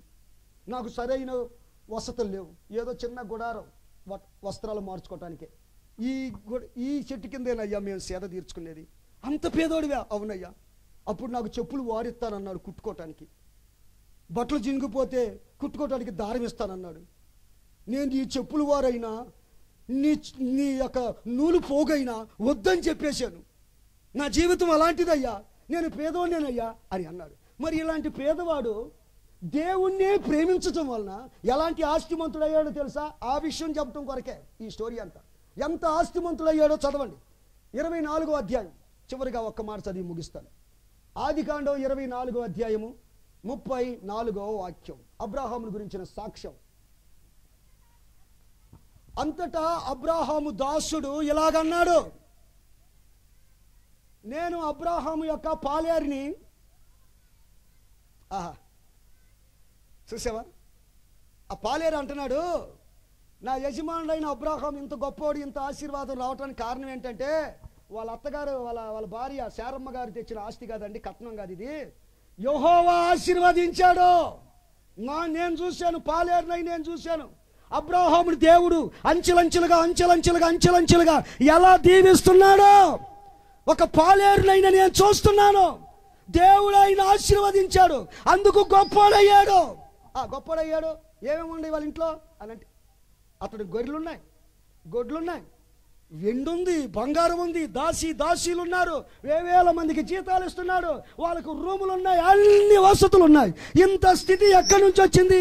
ఏసయ్యను ప్రేమించే అనుభవంలోనికి తీసుకొచ్చాడు దేవుడు అబ్రహాం ఒక్కగాని ఒక్కనైనా బలివటానికైనా ముందుకు వచ్చేసాడు డబ్బు కోసం ఆస్తి కోసం వెనకాలేదు దేవుడిని ప్రేమించే ఒక మంచి లక్షణం దేవుని కోసం ఏ త్యాగమైనా చేసే ఆ విధానం నీలో ఉంటే దేవుడు ఖచ్చితంగా మనల్ని ఆశీర్వదిస్తాడు. ఆయన చేయి విడవడం. అందుకని క్షమించాలన్నా ఆయన మనం పరలోక రాజ్యానికి తీసుకొని వెళ్ళాలి అన్నా మనం ఆయన ప్రేమించే బిడ్డలంగా మనం ఉండాలి. అందుకే జీవితాలు మార్చుకోవాలి. ఎందుకంటే బైబిల్లో చివరిగా ఒక వాక్యం చదవండి. ఏసయ్యను ప్రేమించడం అంటే ఏంటి? పాటలు పాడటం కాదు భజన చేయటం కాదు. చిల్లర మార్చి కానుకేయటం కాదు. ఏసైను ప్రేమించటం అంటే ఏంటి? చదవండి ఒక మాట చివరిగా. యోహాను సువార్త పద్నాలుగో అధ్యాయము పదిహేనో వాక్యం. పద్నాలుగో అధ్యాయం పదిహేనో వాక్యం. త్వరగా ఏసైను ప్రేమించటం అంటే ఏంటో చెప్తున్నా. మీరు నన్ను ప్రేమించిన ఎడల నా ఆజ్ఞలను కైకొంటారు? ఏంటి ఆయన ఆజ్ఞలు? మీరు నన్ను ప్రేమించిన ఎడల నా ఆజ్ఞలు గైకొంటారు నా మాటను వింటారు. ఏంటి ఆయన ఆజ్ఞలు తెలుసా? ఒక్క విషయం ఒక్క మాట. చూడండి అపోస్తుల కార్యాలు పదిహేడవ అధ్యాయము ముప్పయో వాక్యం. అపోస్తుల కార్యాలు పదిహేడవ అధ్యాయము ముప్పయో వాక్యం. ఏంటి ఆయన మాట? ఏంటి ఆయన ఆజ్ఞ? దేవుణ్ణి ప్రేమించటం అంటే ఆయన ఆజ్ఞను గైకొంటాం ఆ. ఆ అజ్ఞాన కాలమందు చూసి చూడనట్లుగా ఉండెను. ఇప్పుడైతే అంతటను అందరూ మారు మనసు పొందాలి అని మనుషులను ఆజ్ఞాపిస్తున్నాడు. హాలలోయ. మారు మనసు పొందటం అంటే ఏంటి? మనస్సు మార్చుకోవటం. నిన్నటి రోజున దైవ సేవకులు చెప్పాడు. లూదియమ్మ వాక్యాన్ని వింది. ఆమె హృదయం తెరవబడింది. హృదయం తెరవబడి అంటే అర్థం ఏంటి? ఆమె హృదయంలో ఏమేమి ఉంటాయో మార్కోస్ మార్కోస్ వార్త ఈ ఏడో అధ్యాయంలో ఉన్నాయి. పాపం అల్లరి ఎన్నెన్నో అబద్ధాలు అన్యాయాలు ఉంటాయి. మారు మనసు పొందటం అంటే ఏంటి? ఇప్పుడు చాలామంది రకరకాల తాగులు వేషాలు వేసి మోసాలు చేసే వాళ్ళు ఉంటారు. ఇవన్నీ మారాలి. ఏసై దగ్గరికి వచ్చామంటే మనస్సు మార్చుకోవటం. ఇప్పుడు మీకు గొంగల పురుగు తెలుసా? గట్టుకోసారి హలులేనండి హలో గొంగల పురుగు తెలుసా? గొంగల పురుగు? గొంగల పురుగు ఎక్కడ ఉంటుంది? భూమిని పోగుతా పోగుతా పోతా మట్టి తింటుంది. ఎప్పుడైనా మీ మీదకి ఎక్కితే ఎట్టుంటుంది? ఎట్టుంటుంది? కమ్మటి వాసన వస్తుందా? అబ్బా నువ్వు ఎక్కుతుంటే ఎంత బాగుందే గొంగల పురుగు అంటావా?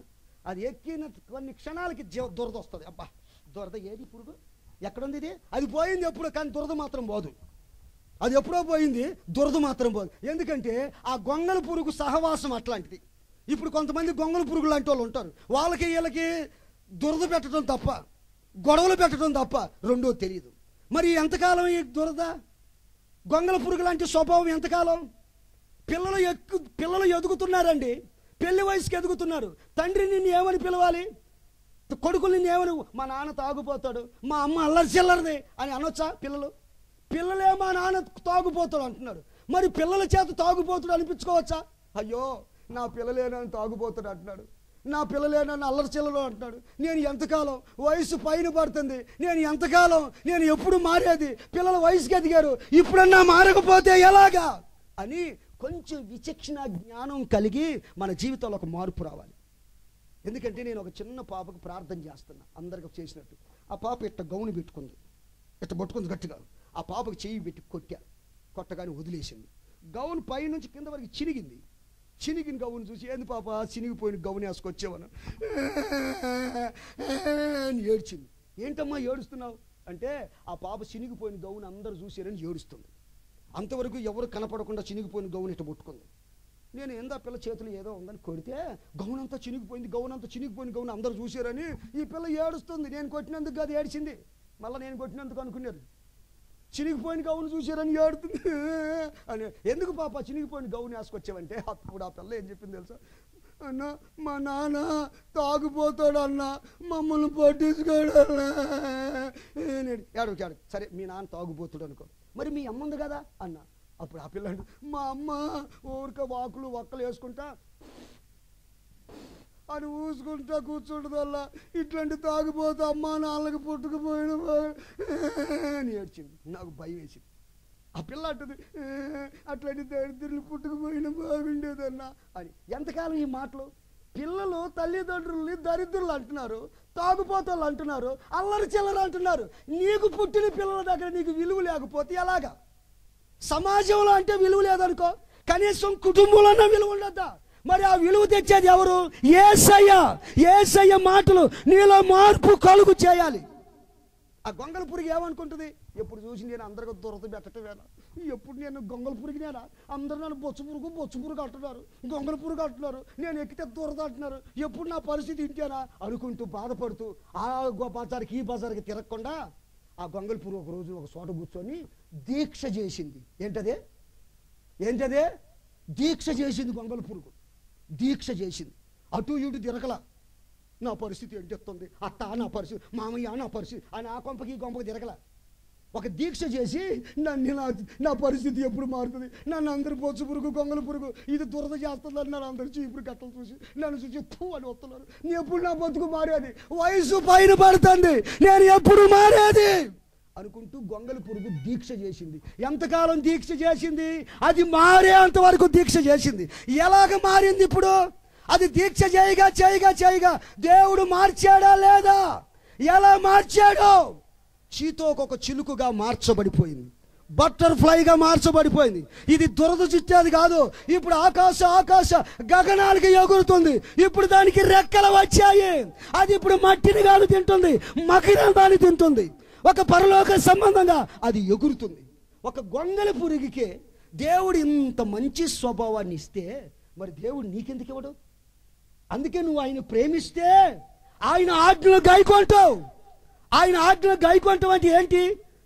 ఆనాడు చూచి చూడనట్లుగా ఆయన ఉన్నాడు. ఇప్పుడైతే అందరూ అందరూ అంతటా అందరూ మారు మనసు పొందాలని ఆజ్ఞాపిస్తున్నాడు. ఆయన ప్రేమించే వాళ్ళు ఆయన ఆజ్ఞలు గైకొంటారు.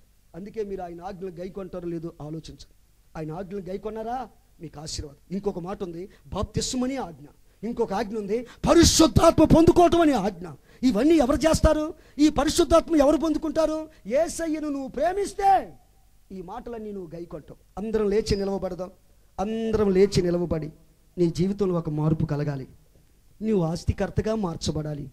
దేవుడు మరణం నుండి నీ ప్రాణాన్ని కన్నీళ్ళ నుండి నీ కన్ని నీ కన్నులను జారిపడకుండా నీ పాదాలని ఆయన తప్పించాలి.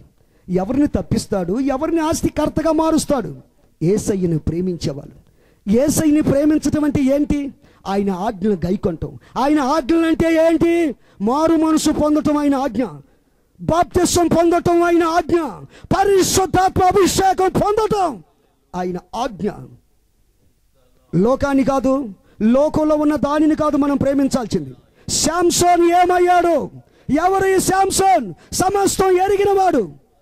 దేవుని గురించి తెలుసుకున్నవాడు ఒక దర్శనం ద్వారా పుట్టినవాడు వరాలు సంపాదించుకున్నవాడు. ఏమైంది? శాంసన్ అనుకున్నాడు. నేను మరలా బలాన్ని పుంజుకొని ఎప్పటిలాగే విర్ర వీగాలి అనుకున్నాడు. కానీ దేవుడు తనని ఎప్పుడో ఎడబాసాడన్న సంగతి తనకి తెలియలా. ఎప్పుడు ఎడబాసాడు? లోకాన్ని ప్రేమించినప్పుడు. లోకంలో ఉన్న దానిని ప్రేమించినప్పుడు దేవుడు ఎప్పుడో తనని వదిలేశాడు. ఇప్పుడు ప్రయోజనం ఏముంది? అందుకే అతను కళ్ళు పోయాయి. తల మీద ఉన్న గుండు చేయబడింది.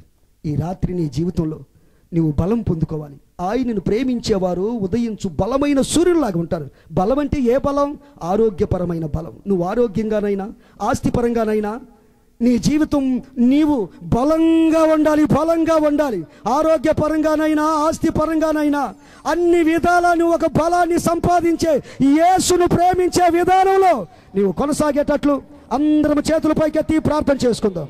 ఏ